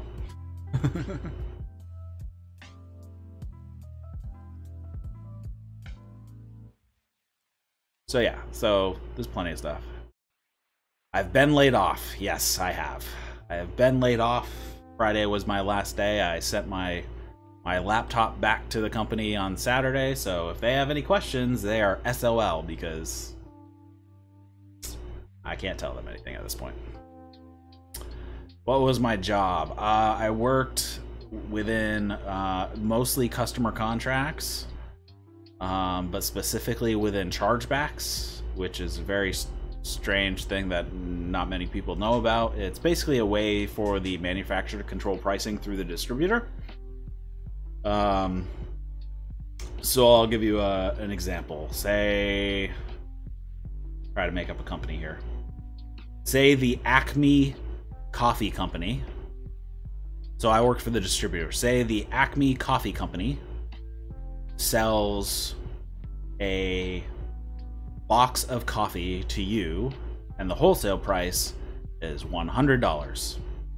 But they have a contract to, I guess we'll go somebody real, 7 Eleven. Say they have a contract with 7 Eleven saying that they can buy their coffee at $80 a box. So if the distributor buys it for 100 but they're going to sell it to 7-Eleven for 80 you are now now the distributor is short $20 and basically what my team does is go back to the acme coffee company and say hey we sold a box of your coffee to 7-eleven for $80 uh, we bought it from you for 100 since you have this agreement between you and 7-eleven please pay us back the $20 so they send us the $20 and we're good. Um, sometimes you'll be like, hey, Acme Coffee Company, we sold this box of coffee to 7 Eleven for $80. And the coffee company will come back and say, well, we sent you a price update a week ago that you should be selling it for $90. So we're only going to give you 10. So now we have to figure out okay, did we really screw up? And we should have given, we should have sold it for 90, or did, or do we go back and say, hey, Mr. Coffee Company, you didn't send us that price update. Here's the proof that we got it after we sold this product. So please pay us the other ten dollars you owe us. That's basically what my team does. We go back and forth with the with the company to be like, hey, um, you actually owe us the $20 because, um, you know, here's the documentation, you owe us the $20. Obviously, we're talking way more money than this, but yes. Sounds like to me that they got the short end of the stick. Who got the short end of the stick? So basically, this is a way to control. So basically, the the company sets the wholesale price above what they actually want to sell it for. So basically, um, they can control the pricing through the distributor. So basically, the coffee company pays the distributor a fee to facilitate their contracts. So that's what happens. Obviously, this is on a massive scale, though. The Acme Co Coffee Company is fine because they really only wanted to sell it for 80. So they sold it for 80, so they just give us the other 20 bucks back. So the, co the coffee company is fine. It's basically how they can since they're selling to a distributor, they're not doing their own distribution. If they charge the distributor more money than they actually want to sell it for, then they can control the pricing out to the customers. Uh, or obviously, if anybody does buy it from the distributor, it's at a higher cost and they can't undercut the people that they have contracts with. So if um, I don't even know what another chain of convenience stores is Mr. Mike's. Um, if Mr. Mike's doesn't have a contract with Acme, Co Acme Coffee Company, and they come to me to buy the coffee, they're going to pay a hundred bucks probably plus a couple percent markup. They'll buy it for $103 or whatever. So th- that's fine too. But the thing is, now Mr. Mike's they just paid $23 more for the coffee than 7-Eleven did. So 7-Eleven can undercut the price because they have a contract with the Acme Coffee Company. How long did I do the job? Uh, 13 years. Uh, various levels within the. I eventually was like the highest level analyst um, on the team. So basically, if some really weird things happen and like the other analysts couldn't figure out why a certain price got done because there's a lot of other logic within this um, that can dictate a price. So basically, if if somebody couldn't figure something out or they needed some data mining done, then it got sent up to me. So I got all the really weird puzzles. So I would I would do that. Did I ever have a bad day at work? Not really. No. Um, I thought the job was fun because it's basically puzzle solving. So I'd you know, go through the systems. I'd pull massive amounts of data. I'd find where the discrepancy happened. So it could have been a system glitch. Uh, it could have been a timing issue. So we put in the price change, but didn't cascade from the price change system into the actual pricing system because say they took the pricing system offline for an hour because they had to do updates. Uh, usually this will happen overnight, but sometimes it will happen um, early. Maybe it, it might happen at uh, say they took it offline at 11 hoping it would get hoping it would be done by midnight but it crossed midnight and only came back up at say at you know 12 20 in the morning. So now the price change gets put in but now it's late. Unlucky 13 yeah it was almost four it would be 14 if i made it three more weeks it would have been 14 years but yeah, so I made it. I was up to the like the highest level analysts um, in the department. Yeah, but I've been working from home for the past seven years, so that was fun. Have I ever worked anywhere else? Nope. That, I've been working there since I was like 22 years old. 23.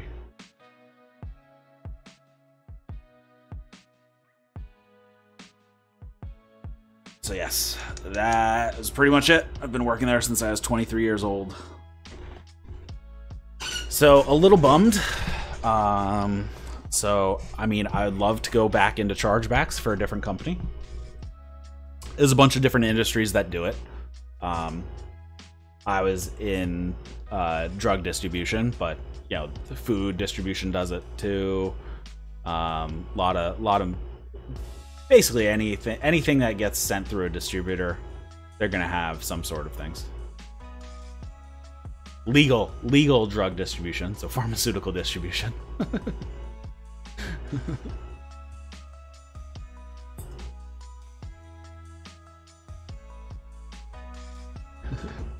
yes, le legal legal legal drug distribution, not not uh not illicit drug distribution, pharmaceuticals distribution.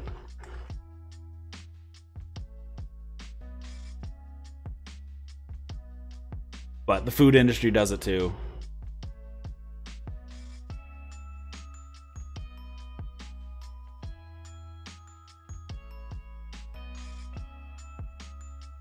Eric, that kingpin, yeah.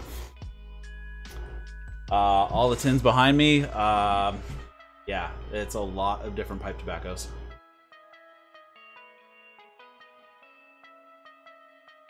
You're over on Twitch, which is mostly gaming. So if you didn't know, yeah, it's all it's all pipe tobacco.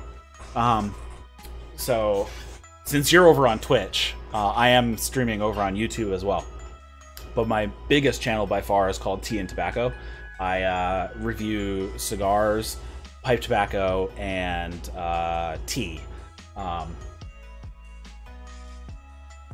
so that is, yeah, that's all. You know, I got all my pipe tobaccos here. I have tons more in storage. Um, I have my cigar. I have one cigar humidor. Jesus, I can't get it here. This is this is a cigar humidor. I also have another temperature controlled one right here, uh, and then I have uh, just kind of tea things. I got a little teapot right there that was made by one of my wife's students. Uh, I have a few random tea stuff, but most of my tea stuff is elsewhere. How long have I smoked a pipe? Um, ten years at this point. I think it was, yeah, it's 2010. The end of two, December of 2010 is when I started pipe. Uh, no, I don't have any Cuban cigars because I'm in the U.S. and Cuban cigars are not legal and they're a pain in the ass to get, and they're ridiculously overpriced. So I don't bother. Um, if you're in different countries, though, uh, if you're outside the U.S., if you're in Canada, everything's super overpriced because the oh, you're in the UK. Yeah, so in the UK, um, yeah, cigars are just overpriced no matter where they come from. Uh, but since I'm in the U.S., it's it's all going to be from Central America, other than uh, other than Cuba. And even if Cubans were legal in the U.S., I think they'd be way overpriced anyways for the quality that you get. I mean, they're not like any better per se than stuff you get from Dominican Republic or Nicaragua. I think it's more the lore and the history that people are buying, um, and not really the quality per se. Uh, but yeah, so I mean, a lot of the pipe tobacco I buy, actually, what I'm smoking right now is Esoterica Scarborough, and that actually is produced in the UK. Produced in the Jersey Isles. So that's what I'm smoking right now. It's actually made in uh, in the UK.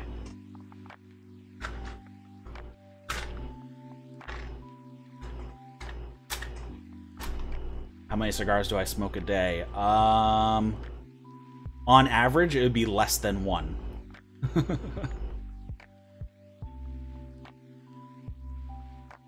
I might maybe three to four a week. It would be kind of typical.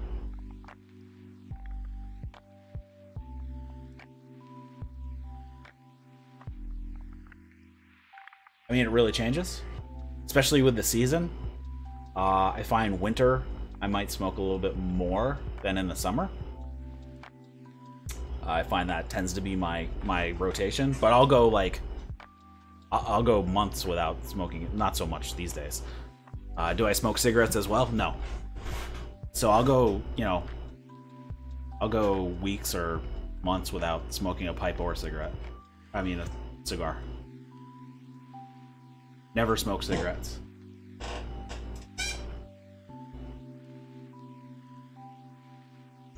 So like, um, this is my first pipe or cigar since I don't know Thursday, Friday. No, um, I don't know what day. I remember the last one I had. Uh, it might have been Friday, so I didn't have one yesterday. What made you start smoking a pipe? Uh, cigars were getting really, really expensive. Um, I did not make as much money back then. Uh, and per smoke, pipes are significantly cheaper. So one really nice cigar is gonna cost. Well, this is this is U.S. prices. UK is gonna be ridiculously more expensive. But uh, here, a good cigar is going to run you maybe six to ten dollars, usually, um, and two. We'll make this UK, fifty grams of pipe tobacco, which is going to probably get you 10, 10 to fifteen pipes full. Will cost you like ten dollars. So you can get for ten dollars, you can get fifteen pipe smoking sessions or you can get one, maybe two really nice cigars. um, so significantly cheaper, and that's why. I, but now I, I, I go back and forth. I don't really have a preference. Um, it's just cigar smoking got really expensive at the time, and I was not making a ton of money. Um, but I still wanted, you know, to be able to smoke, you know, once in a while without dropping a ton of money. So uh, that is what originally got me to pipes. Um, so is pipe smoking bad for your lungs? Uh, for the vast majority of people, for pipes and cigars, you don't inhale. It's more of a it's a flavor thing. Um, so you just draw it into your mouth and then blow it out. Um, so pipe smoking, cigar smoking is significantly lower risk to for like lung cancer and whatnot.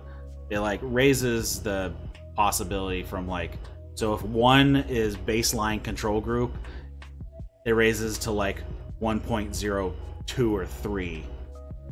Um, so it's basically a like, you know, maybe a 3% increase in risk from not smoking at all. Uh, and that and that study was done with people who smoked five cigars a day.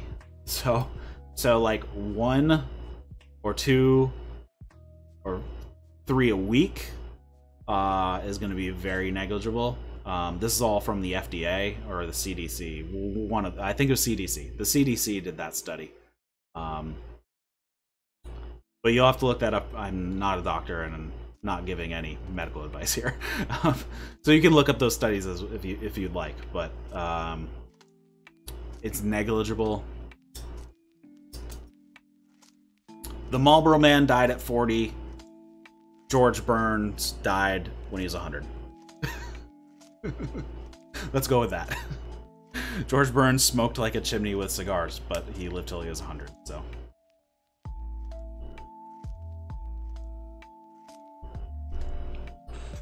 But yes, it's a it's a flavor thing. It's not a, like a nicotine delivery thing. That's what that's what cigarettes are for. Um, but yeah, the vast majority of pipe and cigar smokers do not inhale. Uh, it's just a flavor thing. It's a relaxing thing, and it's not like a do it all day, every day type of thing.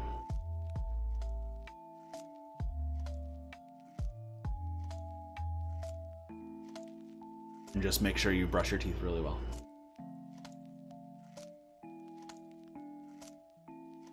Do I smoke cannabis as well? Um, considering that's illegal in this country, I'm going to say no.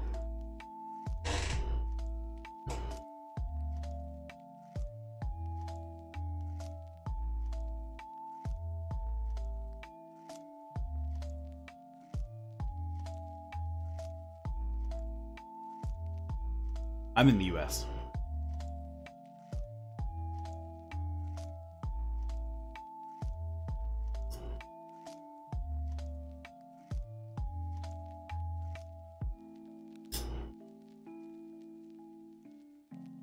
The part where it's not uh, the, the United States.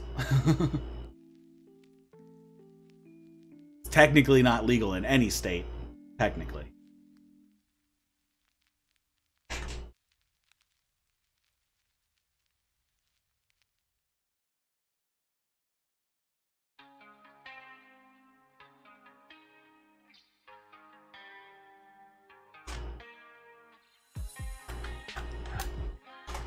I'm in New Hampshire, which is not legal in.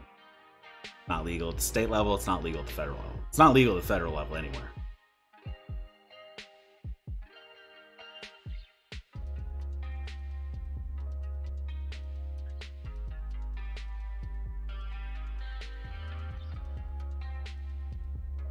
Noah's gonna head out. Cool. Thanks for hanging out.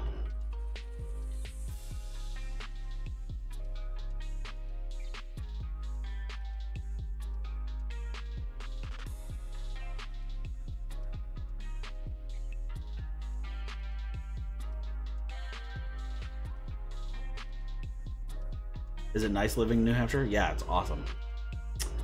Uh, the summers can suck though. It can get a little too hot for me. I like the cold a lot more. So the winters are nice. You get a ton of snow and it's freezing cold out, what I like.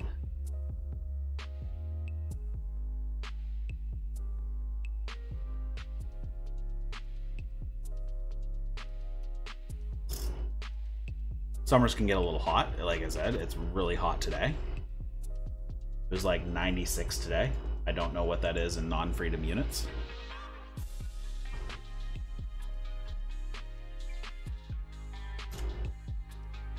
That is 35.5 Celsius for those keeping store. Sport.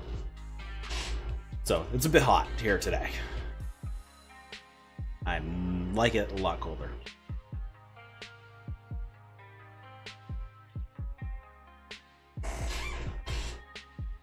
That's why I got the AC going. Luckily, it's actually not that loud. So. Yes, I drink a lot of tea. Not so much when it's this hot out, though.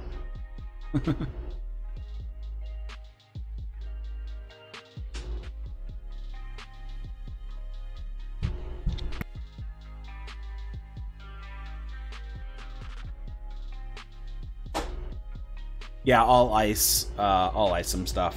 Um, I always forget about it though, and then it's like by the time I actually want to drink something, it's like, oh, I don't want to wait 15 minutes to make my iced tea. So a lot of times it's just ice water. Um, but yes, I will make I will make DHP into iced tea. That's Da Hong Pao. It's a type of oolong.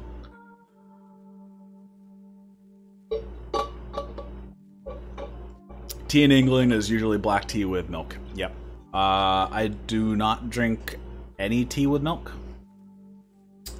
Uh, if I have to put milk or sugar in the tea, I don't bother drinking it.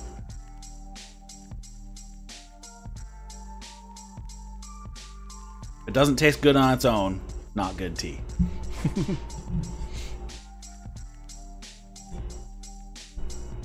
Just trying to mask the flavors.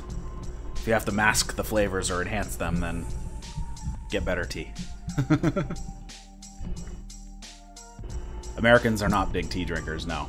Mostly coffee. Coffee is the... Coffee tends to be the beverage of choice here, as far as that realm of beverage.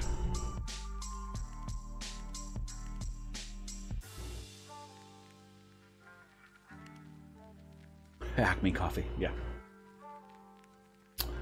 My wife's a huge coffee drinker, but I am not.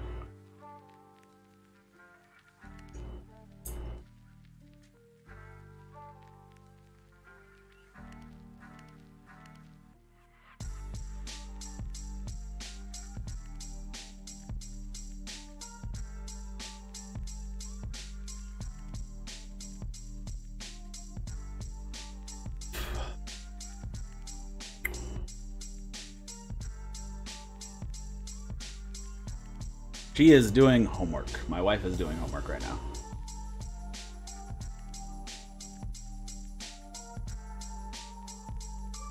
At least I think she's doing homework. she should be doing homework. Because it's due today.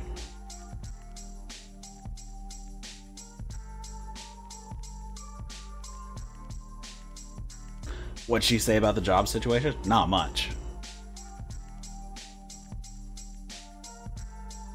Not a huge deal at the moment. I have plenty of. We're fine for now. Uh, really, I don't have to find a job till next year. well, I didn't do anything to get laid off.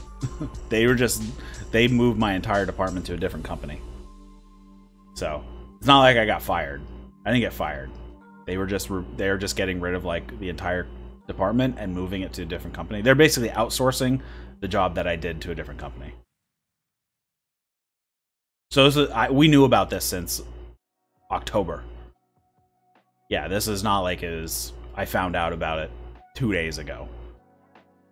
We found out about this happening back in October, so it's been quite a long. They gave us plenty of heads up. It's not like it was like out of the blue, and it had nothing to do with COVID.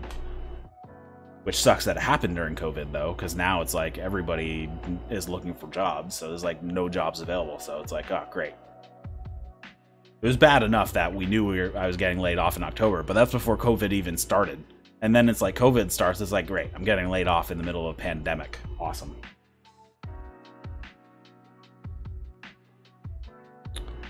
How far is the house from the out from my workplace? 800 miles.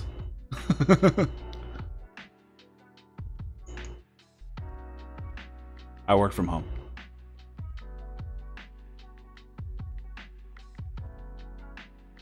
So I would go in a couple times a year. I'd travel once a couple times a year, but uh, technically my workplace was 800 miles away from my house, which is why when they moved it to a different company, I was one on the axe. I worked from home for for seven of the 13 years. I used to live there, and then we were moving away, so they allowed me to work from home, and then that was fine. And then, of course, they outsourced the whole thing.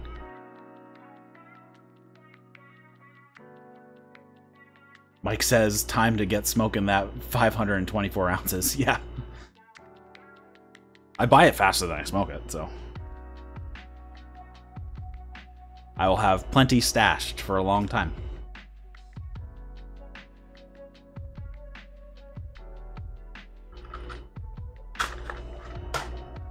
So yeah, I've been working from home since 2013. Almost to the June of, of 13.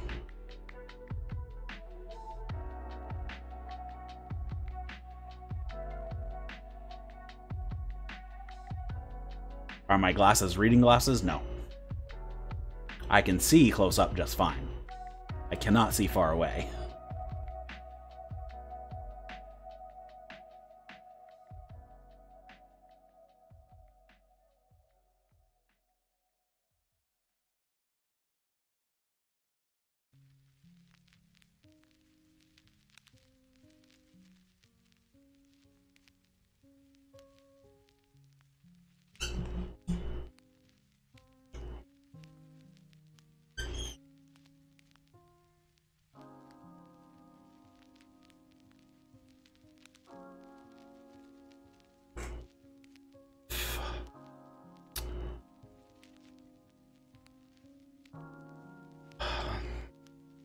Why would I want to look for a different type of job? I like my job. My job was good. Uh, Mike, what pipe is that? This is my uh, Ehrlich. Um, it was a pipe shop in Boston for a very, very long time. I think they were in Boston for like 50 years before they went out of business somewhere in the mid 90s, I think. I'm not 100% sure when they went out of business. Um, but they used to be in Boston.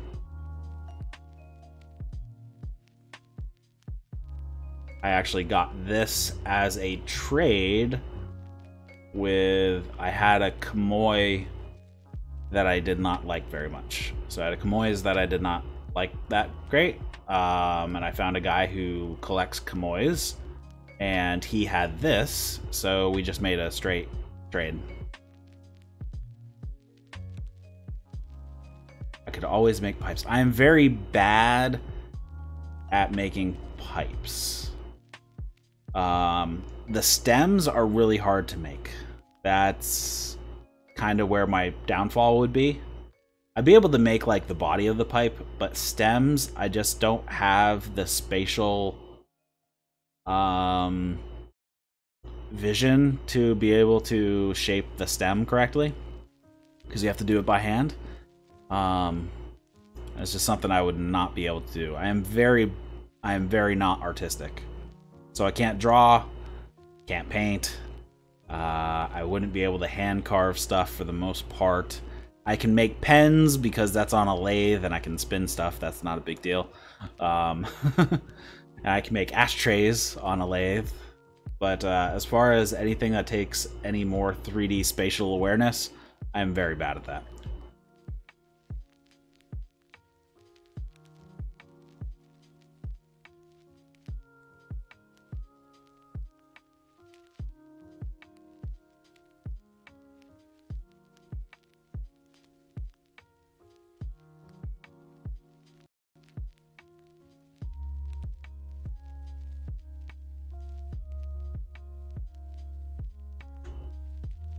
I mean, it'd be great if I was. I'd totally do it if uh, I could. Do I have a site where I can buy ashtrays from you? I am going to be working on that. That's part. That's one of my things that I'm going to be working. I'm. Uh, I need to talk to the the printer who. So I need to figure out who's going to be printing my T-shirts, and then I need to figure out if I can integrate a uh, cart into them. So like if somebody orders from my shopping cart is there some way I can get the order over to the printer so they can print it? Uh, so I need to figure out how that's going to work. But if you would like an ashtray from me, um, you can join the Discord and just message me directly. Um, you can send me an email, uh, eric.tntobacco at gmail.com. Um, so you can send me an email or, or just get a hold of me. Uh, I shoot my my wood example ashtray is uh, out in the other room, but uh, I can make ashtrays basically out of any wood that you would like. Uh, so price depends on wood. I had somebody. Uh, I haven't seen him in here, but he's usually in the, the live streams. I made an ashtray out of black palm. That wood's very, very expensive, but uh, I gave him the price, and he said that's cool. I think I, I think I had to charge 120. Uh, I think I charged 110 dollars for that uh, ashtray because just the wood alone was something like 70 dollars. Um, just for a small piece of black palm because it's really expensive. But if you'd like a maple, if you'd like maple or oak, something a little bit easier and domestic, uh, that's probably going to be sitting more like thirty-five dollars to forty for uh, for you know a, kind of a, a, a domestic hardwood. Once you start getting into exotics, it's going to be more expensive. But I can make it out of whatever you whatever you want, as long as I can get it, and it's legal to get. I mean, there are some woods that you can't legally get in the U.S., but most of them can.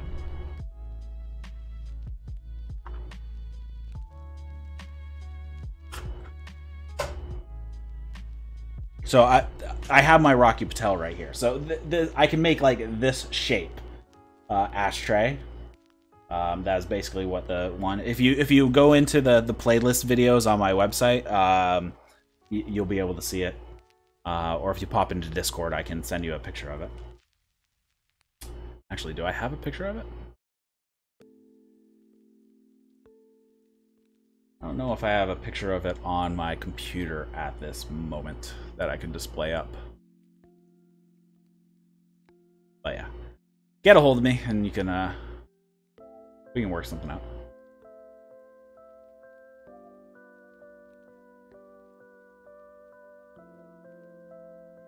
And you make clay pipes. I can't make anything that needs that much 3D spatial awareness and dexterity.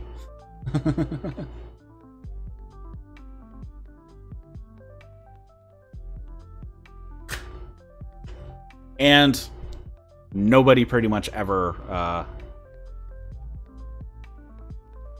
pipe smokers rarely ever use clay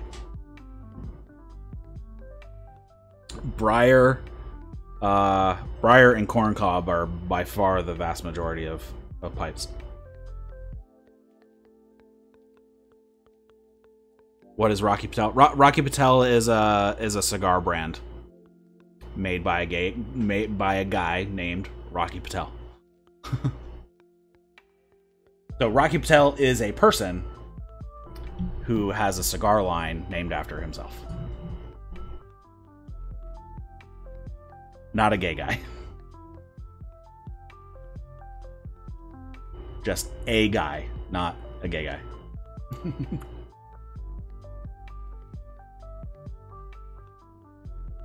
Well, I don't know. I don't know what if he's gay or not.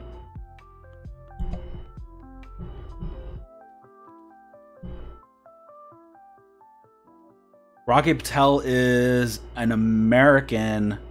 He's an American Indian, I believe.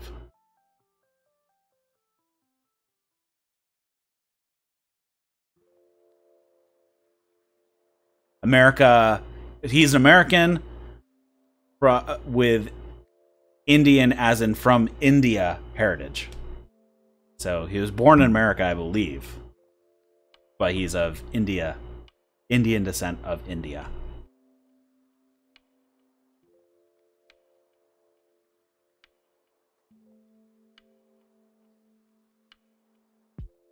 Can I get some cigars out of the humidor? Do you want to see something specific?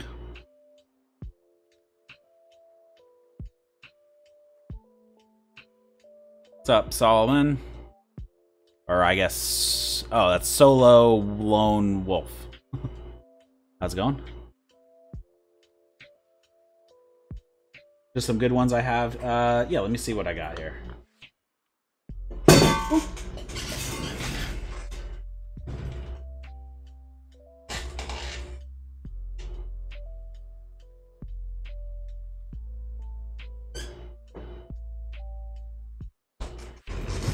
Let's have a little mini tour here of just like my top shelf. So let's see. I have.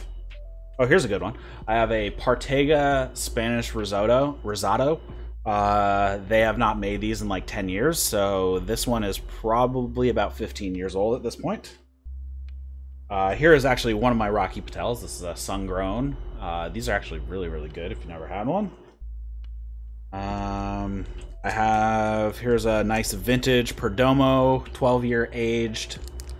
Um, so it's a nice 12 year aged cigar from Perdomo. The I got Cusano 18 year. I think they discontinued these, unfortunately. Uh, but these were aged 18 years. They were very, very good. Oh, these are really, really good. The uh, the Rocky Patel Vintage uh, 2003s, they use a Cameroon wrapper from Africa. Big fan of Cameroon wrappers. They are delicious. Uh, this one, uh, let's see, cigar 96. This this cigar has probably been in my humidor for about four years at this point, and I think it's eight year aged before that.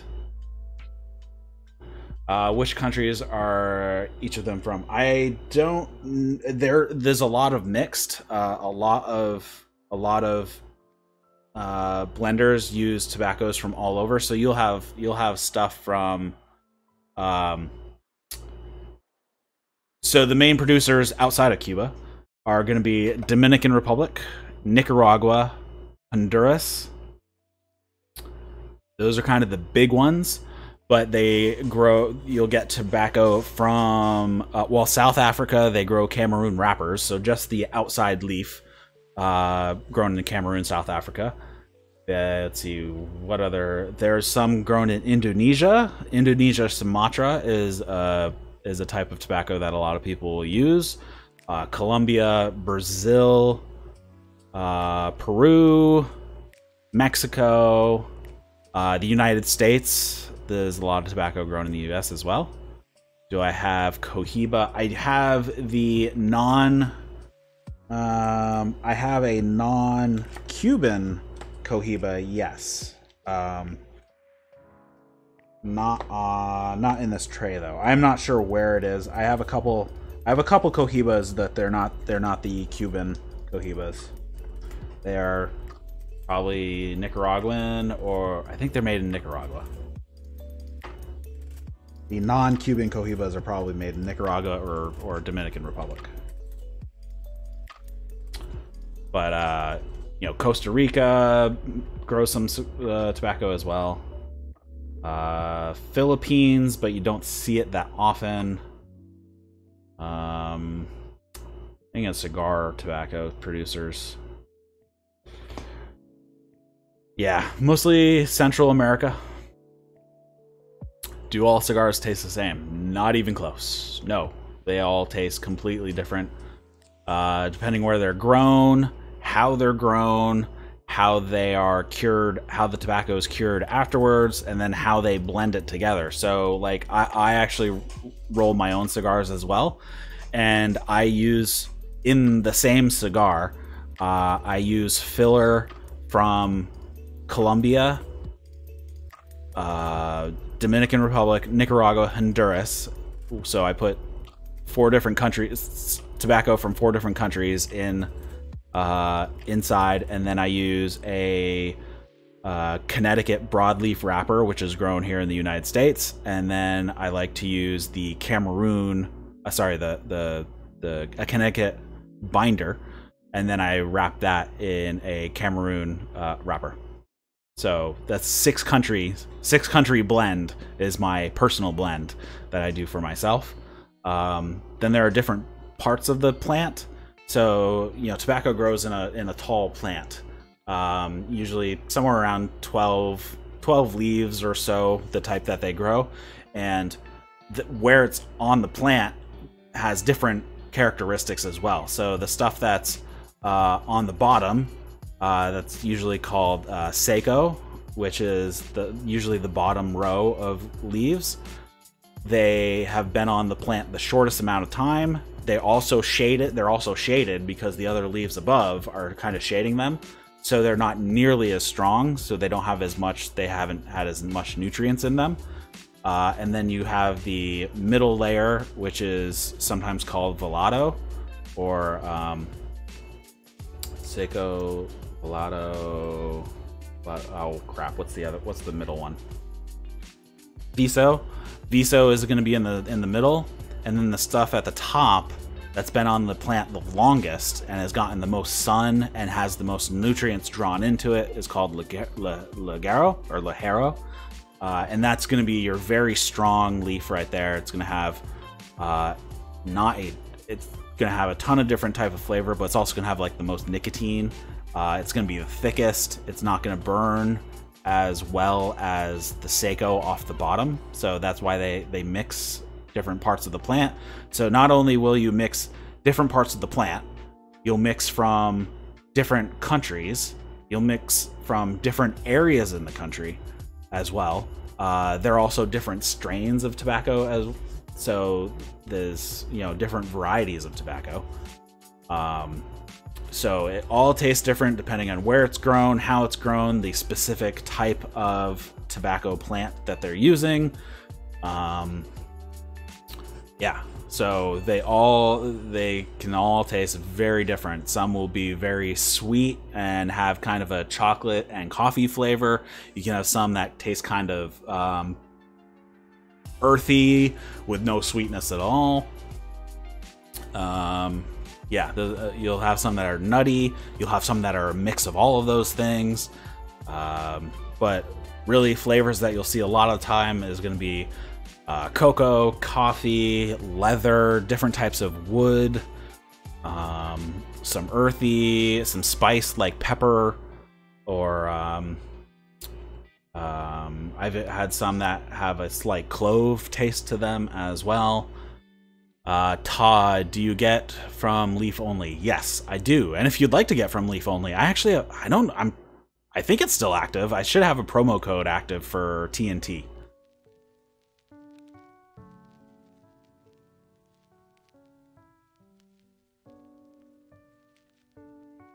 Uh, leather, yes. Obviously, I've never tasted leather, but you know how you can like smell stuff and you know what it would taste like if you tasted it. You know, just with food, like if you smell something, if you smell your food, you have a good idea of what it will taste like before you even do. Um, that's so obviously like I've never tasted oak, but I'm pretty sure I know what it tastes like because I I've smelled it before. Or leather, I know what leather smells like, so I have a good idea of what it would taste like. Uh, I've never eaten compost, but I'm pretty sure I know it would, or, or I've smelled it before, so I have an idea of what it would taste like. So, um, so it's just you know different different descriptors. Even though I've you know some of the stuff is not food per se, uh, but you know how you know you can smell stuff and you have a pretty good idea what it what it would taste like, or at least a ballpark. So that's a that's a descriptor that a lot of people will use.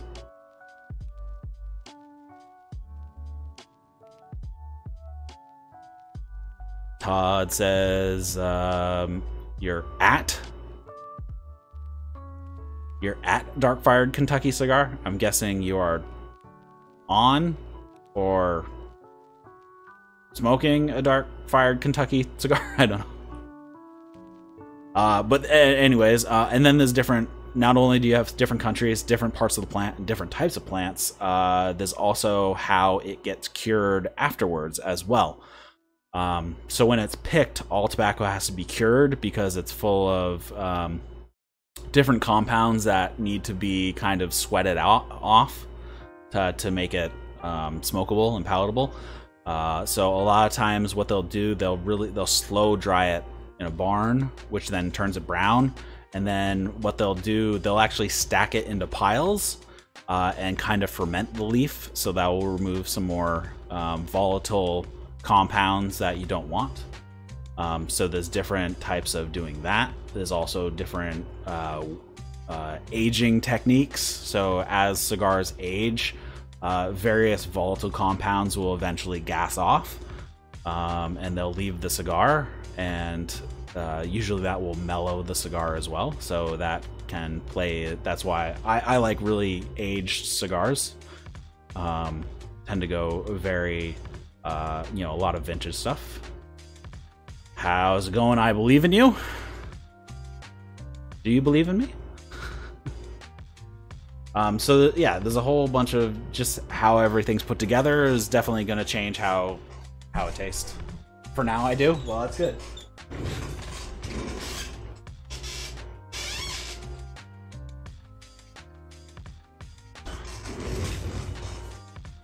We're uh, good. Yes, it has been. Well, it's been a really hot day where I am. I am not doing bad. We're we're talking about cigars and pipe tobacco and tea and video games and wrestling. If anybody wants to talk about wrestling.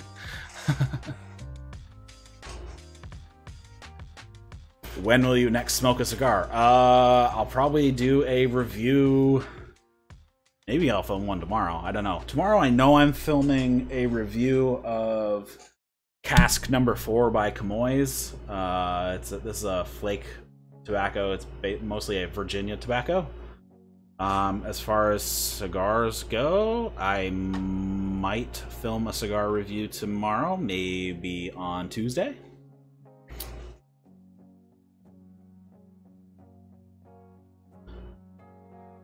If you head over to uh, my YouTube channel, um, if you just go to here, if you just go to www.teantobacco.com, are cigars much better than pipe? Uh, no, they're, they're not. One's not better than the other. Uh, they they're both can produce very unique flavors. Um, you know, pipe tobacco is the same way. It's all different types of tobacco grown in different places, processed different ways. So there's a lot of different varieties of tobacco that work in pipes that don't work in cigars, and there's a lot of cigar. Uh, a lot of cigar leaf just doesn't work in pipes very well because it's usually thicker, so it doesn't burn very well when it's in a pipe. Uh, so it works better as a cigar. So you know, you get a lot of different flavors from different types of tobacco. So if you go to uh, TN Tobacco, so T T E A, the letter N, tobacco.com, that will direct you directly to my YouTube channel. I have a Pipes 101 series, I have a Cigar 101 series. So there's like a how to smoke how to smoke a cigar, how to smoke a pipe, um, but I'm going to be revamping all of those. So over the next few weeks, I'm going to be redoing all the how-to videos and whatnot, and and and doing a lot of that explanation and all that fun stuff. But they're they're different. They're one's not better than the other. Um, like I said, I go back and forth all the time. Depends what uh, what kind of mood I'm in, um, and what I'm doing. So if I I'll, I'll, do both while I'm driving, but usually I'll pick a cigar if I'm gonna go for a drive or whatever, uh, just because it's a little easier to deal with than having to relight a pipe all the time, especially when you're driving. Um, if I'm gonna be playing golf, I'll take a cigar with me. If I'm gonna be just hanging out by the pool, then I might go either way. Um, really depends what I feel like that day because they can vary vastly in different they have, have completely different flavor profiles across the spectrum of both so. Just depends what i feel like just depends how i feel that day.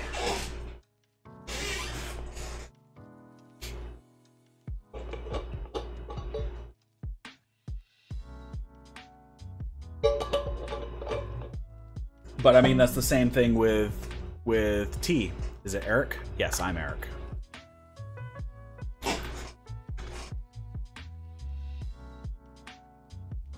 Um, what was I talking about? Uh, and it's the same thing with tea. Tea is the same way. Um, it's grown in different places. It's processed differently. It's aged differently. So that's you get the whole different things. Gotham Cigars House Blend. That is a review I did, but yes. Thing is that the most recent cigar that I reviewed? I can't remember.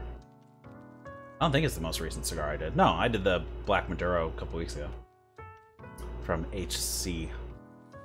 But yes, I did. I did a review of the Gotham House Blend.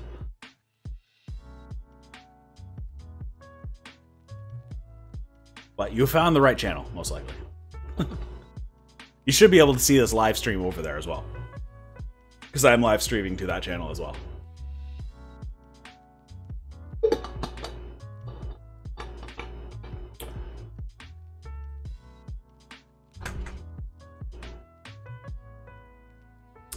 Was that a good one? Yeah, it's not. It was not bad. Um, if I remember correctly, that was like four months ago. Um, if I remember correctly, it was not bad. It was a bit high in nicotine for me. Um, I think the draw was a little tight too. Flavor wise was fine. It wasn't. It wasn't anything great. Um, but it wasn't. It wasn't bad either. I thought it was fine. There are a lot better ones. But uh, they wanted me to review their cigar, so they sent me some cigars, so I reviewed it for them.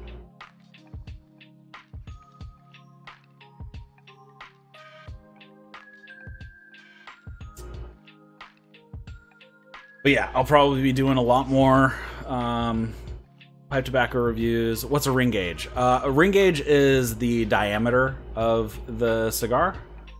So if you see 7 by 50 which is the size of the cigar, is usually called the Churchill because that's the size of cigars that Churchill used to smoke. Um, so uh, a 7 by 50 means it's 7 inches long, and the 50 is the the ring gauge is in 64ths of an inch.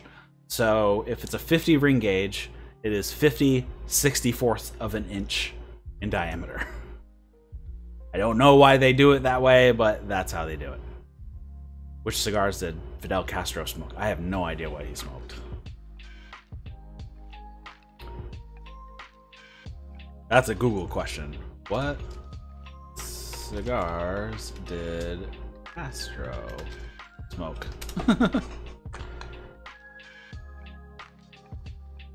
uh, his favorite cigars were Cohibas, but he quit smoking decades ago. That's funny.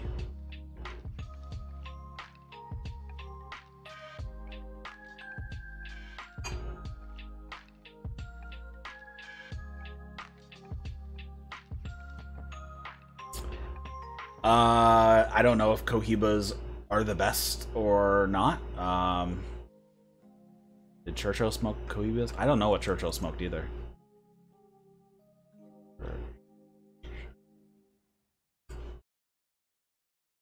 What did Churchill? He smoked Romeo y Julietas and uh, La Aroma de Cuba for his preferred cigars, which are both Cuban. Uh, they both also have uh, non-Cuban counterparts.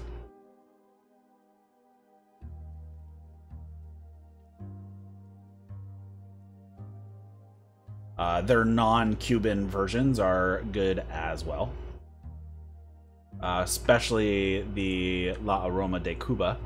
They have some very good cigars that are non-Cubans for the American market.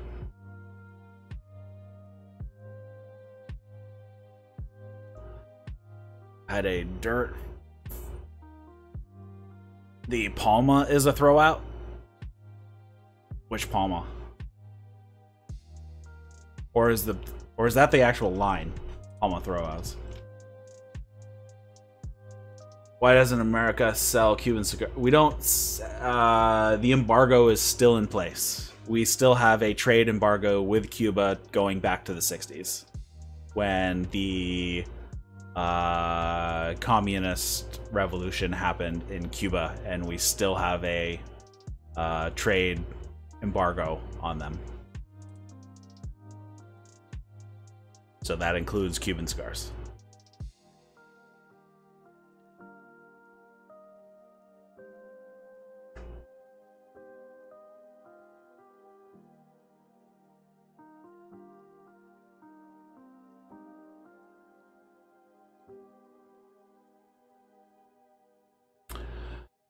I've been told that's what Fidel used to smoke.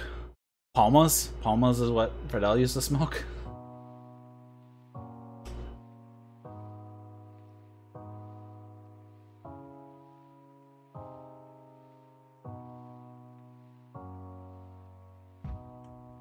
Was, is Palma even a Cuban brand?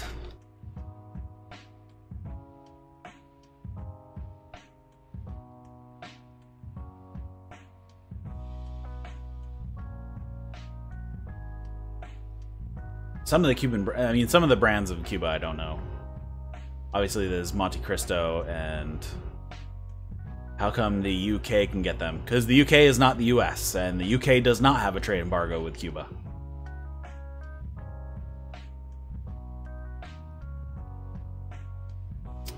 I don't know how many countries still have a trade embargo with Cuba other than the United States.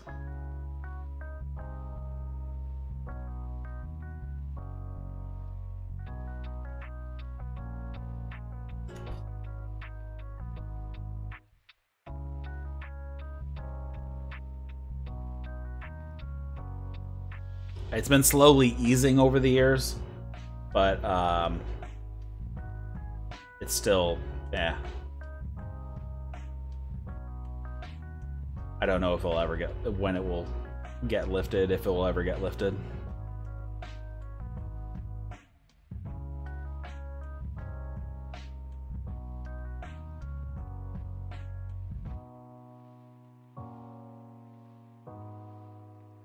They still make ram cooks? I have no idea what you're talking about. Can't you visit Cuba then? Um, I am not sure what the rules are as far as Americans visiting Cuba.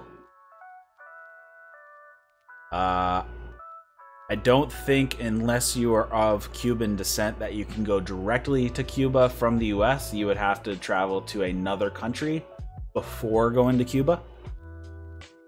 So you'd have to travel to, like, say, Mexico and then go to Cuba?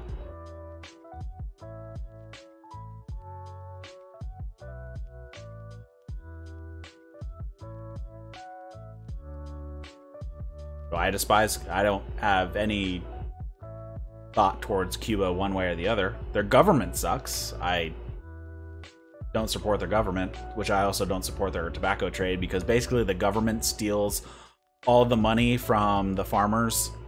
Like the farmers make jack because it's all taken by the by the government. So basically all their crops are taken by the government. So I'm not a huge fan of that. That that's kind of douchey.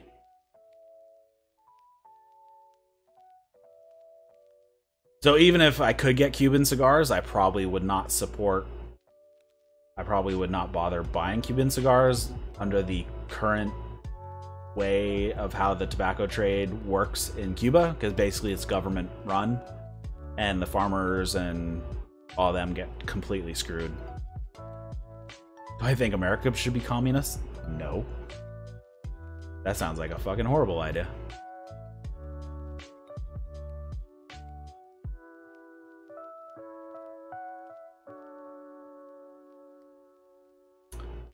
Yeah, I don't know what the what the restrictions are for going to Cuba. I'm pretty sure yeah, you do have to fly through it. You have to travel through a different country though. And then you have to travel back to that other country, back to a different country before coming back to the US. Uh, so you could, you're allowed to bring Cuban cigars back. Uh, there's a max amount.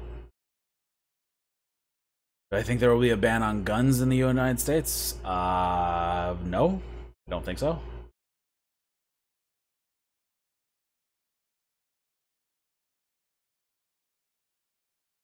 I don't know why there would be.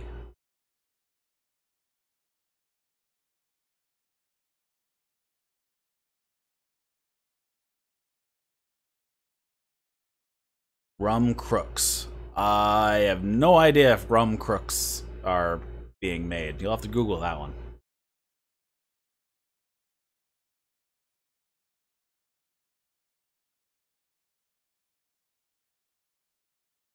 There's a school shooting again. That I don't think that'll have anything to do with it.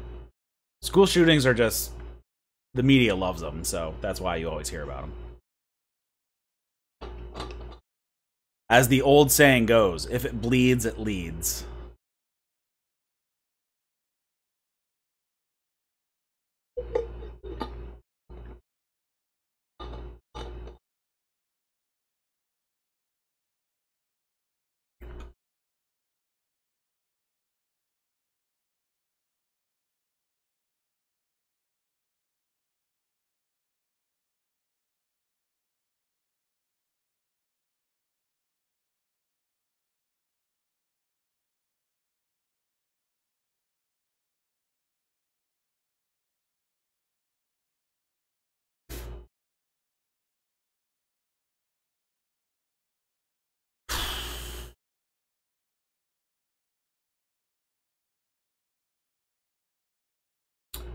You never heard that saying? If it bleeds, it leads.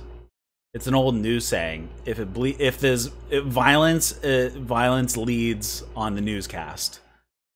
So if there's anything that violence that happens, that's that's what you put first on the newscast because that's the first thing to to lead the the newscast with, or it's the you know the first headline on the newspaper or you know, the headline of in the magazine. So that's where that saying comes. If it bleeds, it leads.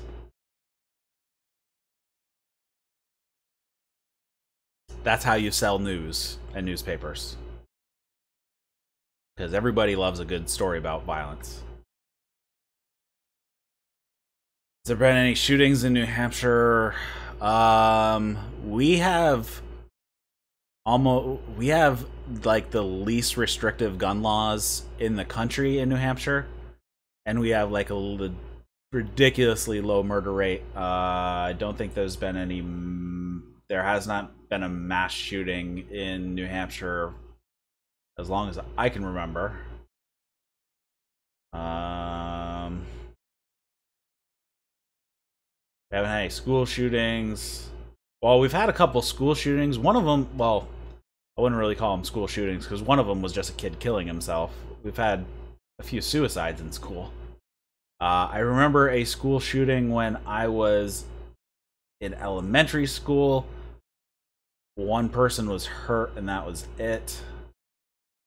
But nothing massive has happened in in New Hampshire, and we have, like I said, we have the we have we are the state with the least restrictive gun laws in the entire country, and probably have more guns per person than most states.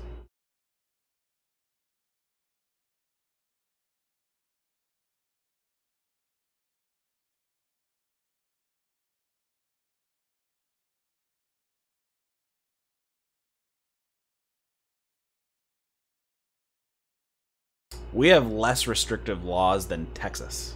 Everybody thinks Texas has like the least restrictive gun laws in the country. Not even close. Texas has actually some pretty strict gun laws comparatively to other other states. But for some reason, they always like to use Texas because it's very rednecky. Are you allowed grenades? Mm. Only under very specific licensing um, I guess you could technically get grenades. Uh, very difficult though.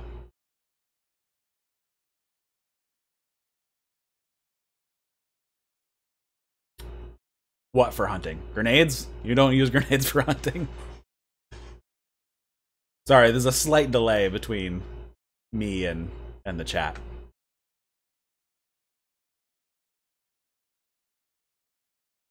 I mean, using grenades for hunting might be a little overkill.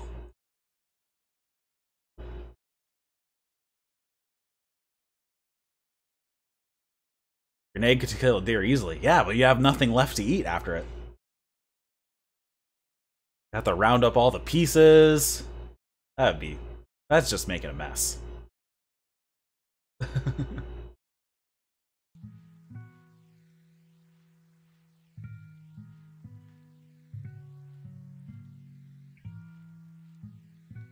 Well, I mean, it'd be blown apart, so it's a lot easier if you have a completely intact deer.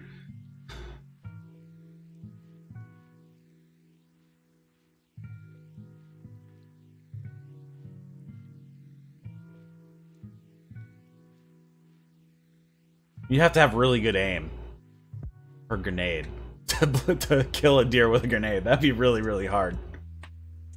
And you'd have to get really close, and they'd probably run away before you get there.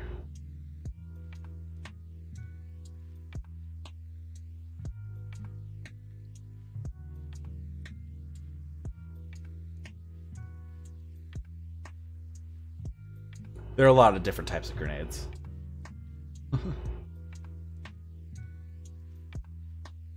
yeah, like a regular like grenade, yeah, could definitely uh blow it to pieces. They're pretty powerful.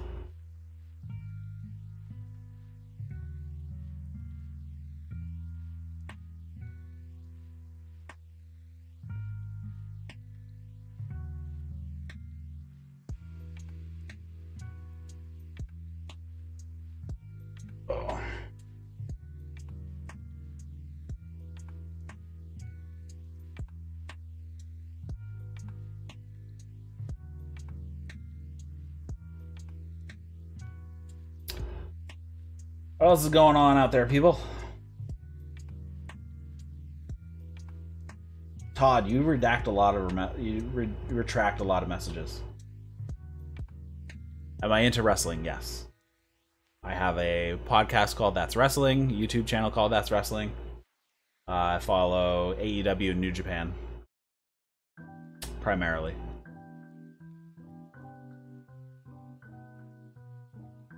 I keep up on what's going on in WWE, but I don't watch it. Uh, I semi have an idea what's going on in Impact, MLW, and ROH as well. Um, but I don't watch those consistently. AEW New Japan, I watch it pretty much everything for.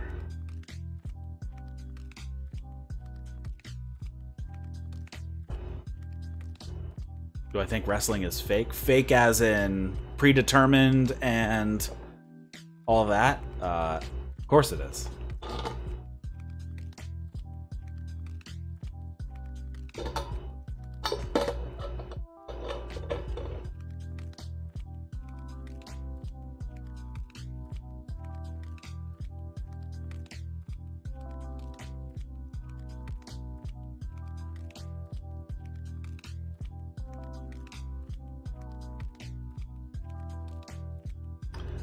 Basically live theater um, and TV.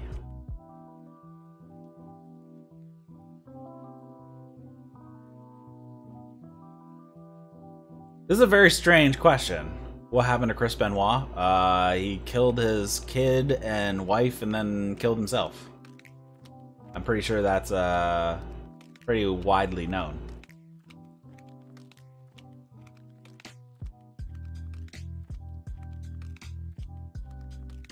Why did he do that? That we don't know. Uh, there's a lot of different speculation about that. Uh, when they examined his brain, uh, he had so many concussions that his brain looked like that of a 80 year old Alzheimer's patient. Um, could have been roid rage. It could have been a whole bunch of other things. Um, but there wasn't like a note or anything. Uh, he just snapped for whatever reason.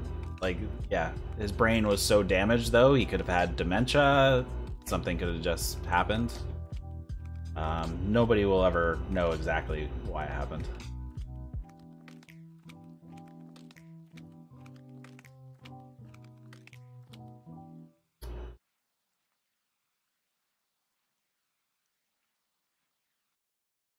That is true. That's what Vince McMahon said. That's what everybody said uh, when his brain was sent off to um, specialists.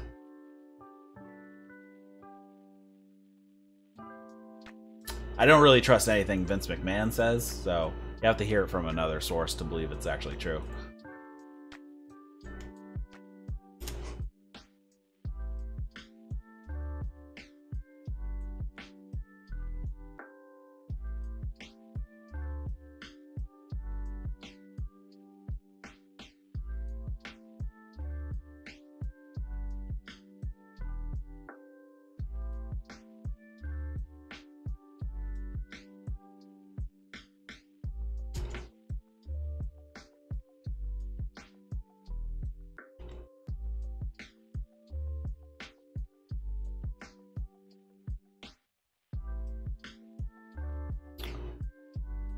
About Owen Hart? Again, that's a pretty well-known case at this point. Something they cheaped out on using a rigging crew that had no business doing a rigging. They used gear that was not used for climbing, and eh, the quick release should never have been used. And the quick release released, and he fell a very long distance and how was that?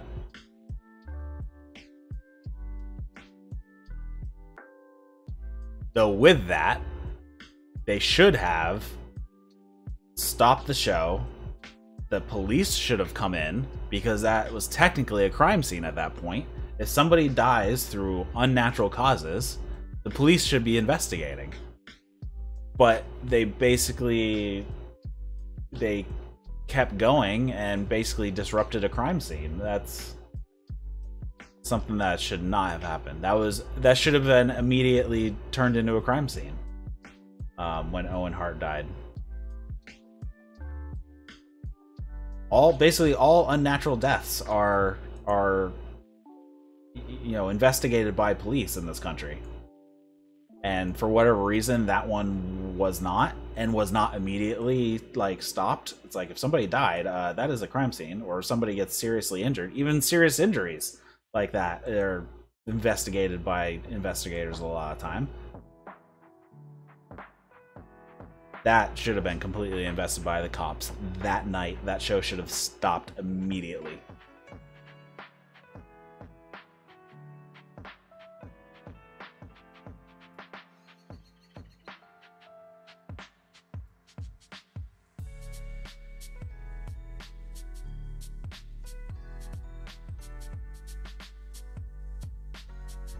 Yeah, Todd, did you know that they've been trying to do like a a Vince McMahon biofilm and like it'd be impossible because you never know what's actually true. It's not like he's going to tell you anything without a spin.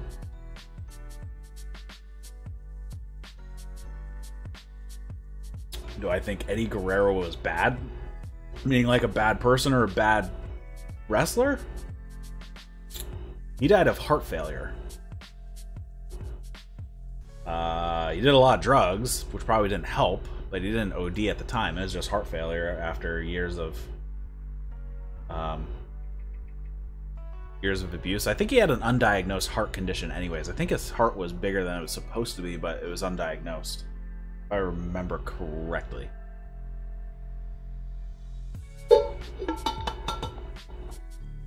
Guerrero was an excellent wrestler.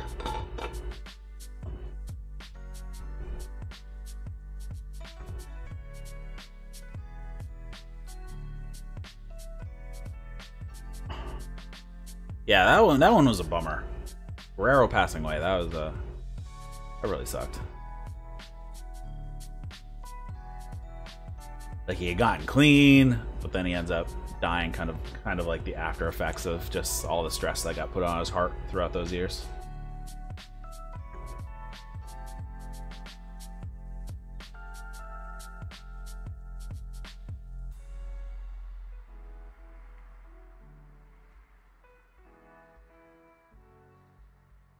There for a while I thought was that chair Shane took that night.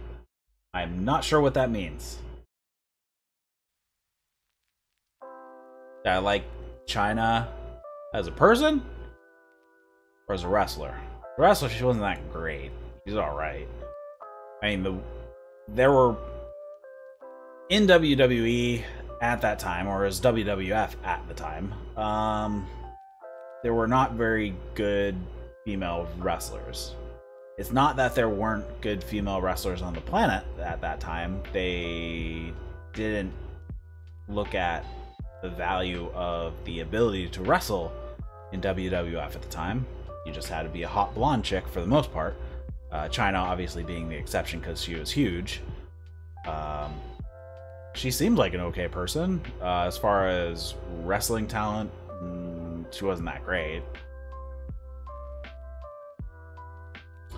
Chair shot to the back of the head on that pay per view, or was that I don't I don't particularly remember that pay per view.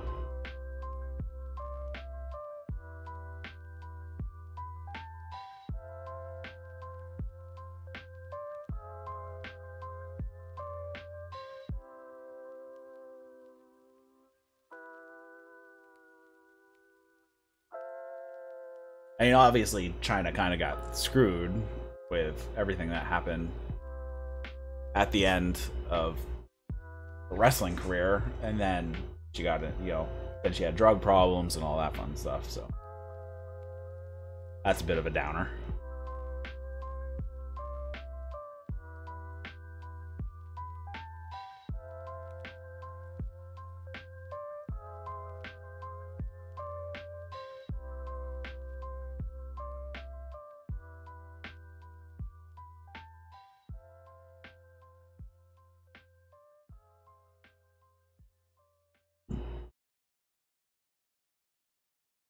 Man, it is late on a Sunday night.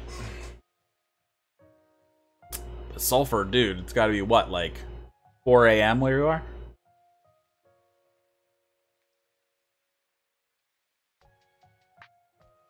Don't remember the pay per view, but I remember there was a skit where he got hit in the back of the head with a chair. There was a lot of shots to the head with chairs during that era. Not a good idea. Unprotected shots. There are ways to safely take chair shots, but a lot of times they did not do it very safely. It never got a hand up or anything like that. I got a moth flying in midair.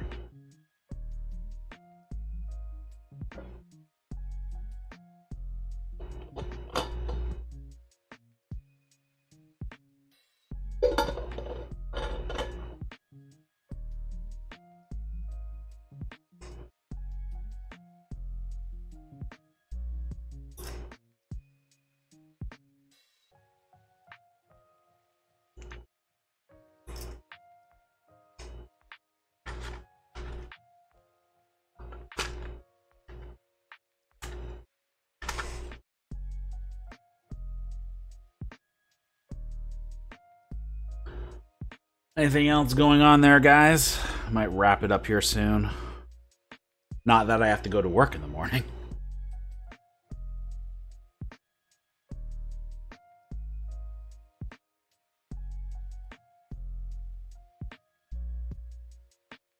Well, I haven't eaten dinner, so I might actually make dinner and then go to bed.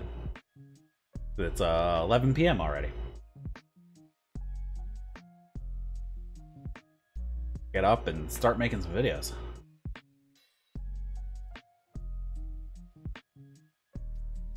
I have a sputtering lighter, so the first thing I'm going to do is how to properly refill a lighter, because a lot of people don't know how to properly refill butane lighter. So that's the video I'm going to film first.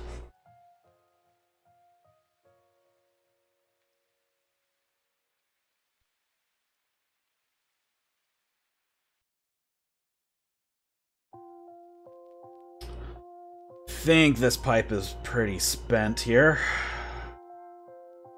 Get some of the ash out of here.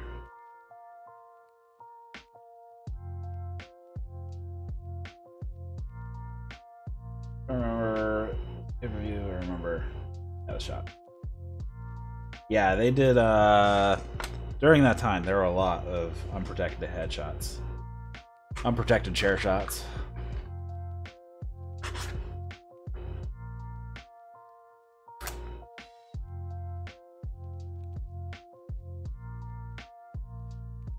And I love how they like claim, "Oh, we didn't know any better." It's like we've known, you know, taking shots to the head is not good for you for the entire length of human history.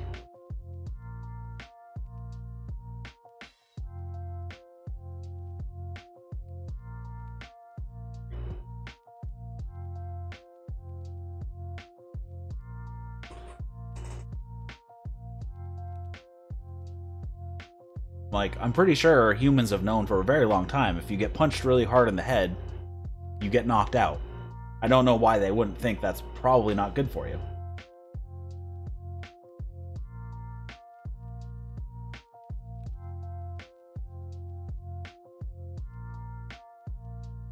Like, what did they think was happening? you know?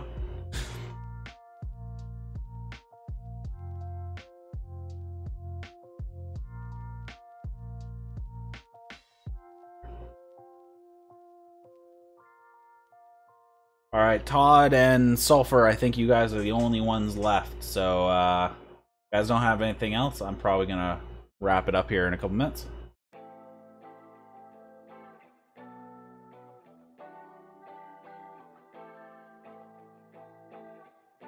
Don't forget to sub, and hopefully I will have... Definitely have to work on setting up a shop. So, t-shirts will be available for Tea and Tobacco as well as That's Wrestling.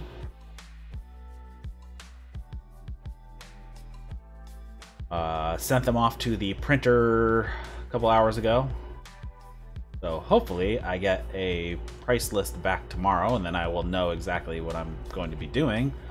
Hopefully they are reasonable uh, and I can keep the prices low.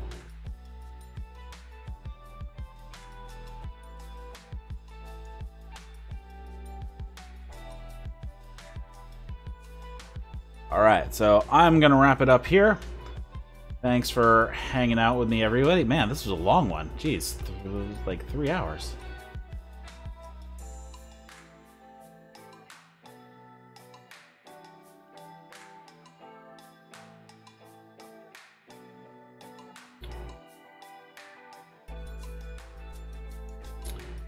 Well, good to know. I wasn't sure if it was the uh, voice to text. I was freaking it out. I got ya. Got ya understand now. Not a problem. Usually I can figure out what you're saying. It's all good. All right, so uh, thanks for hanging out, everybody, and uh, be sure to follow the channel. A bunch of stuff will be coming out on the YouTube, and I'll try to do some live streams. I'll be doing more gaming live streaming over on Twitch and the like. So thanks for hanging out, everybody, and I will see you next time. See you later, guys.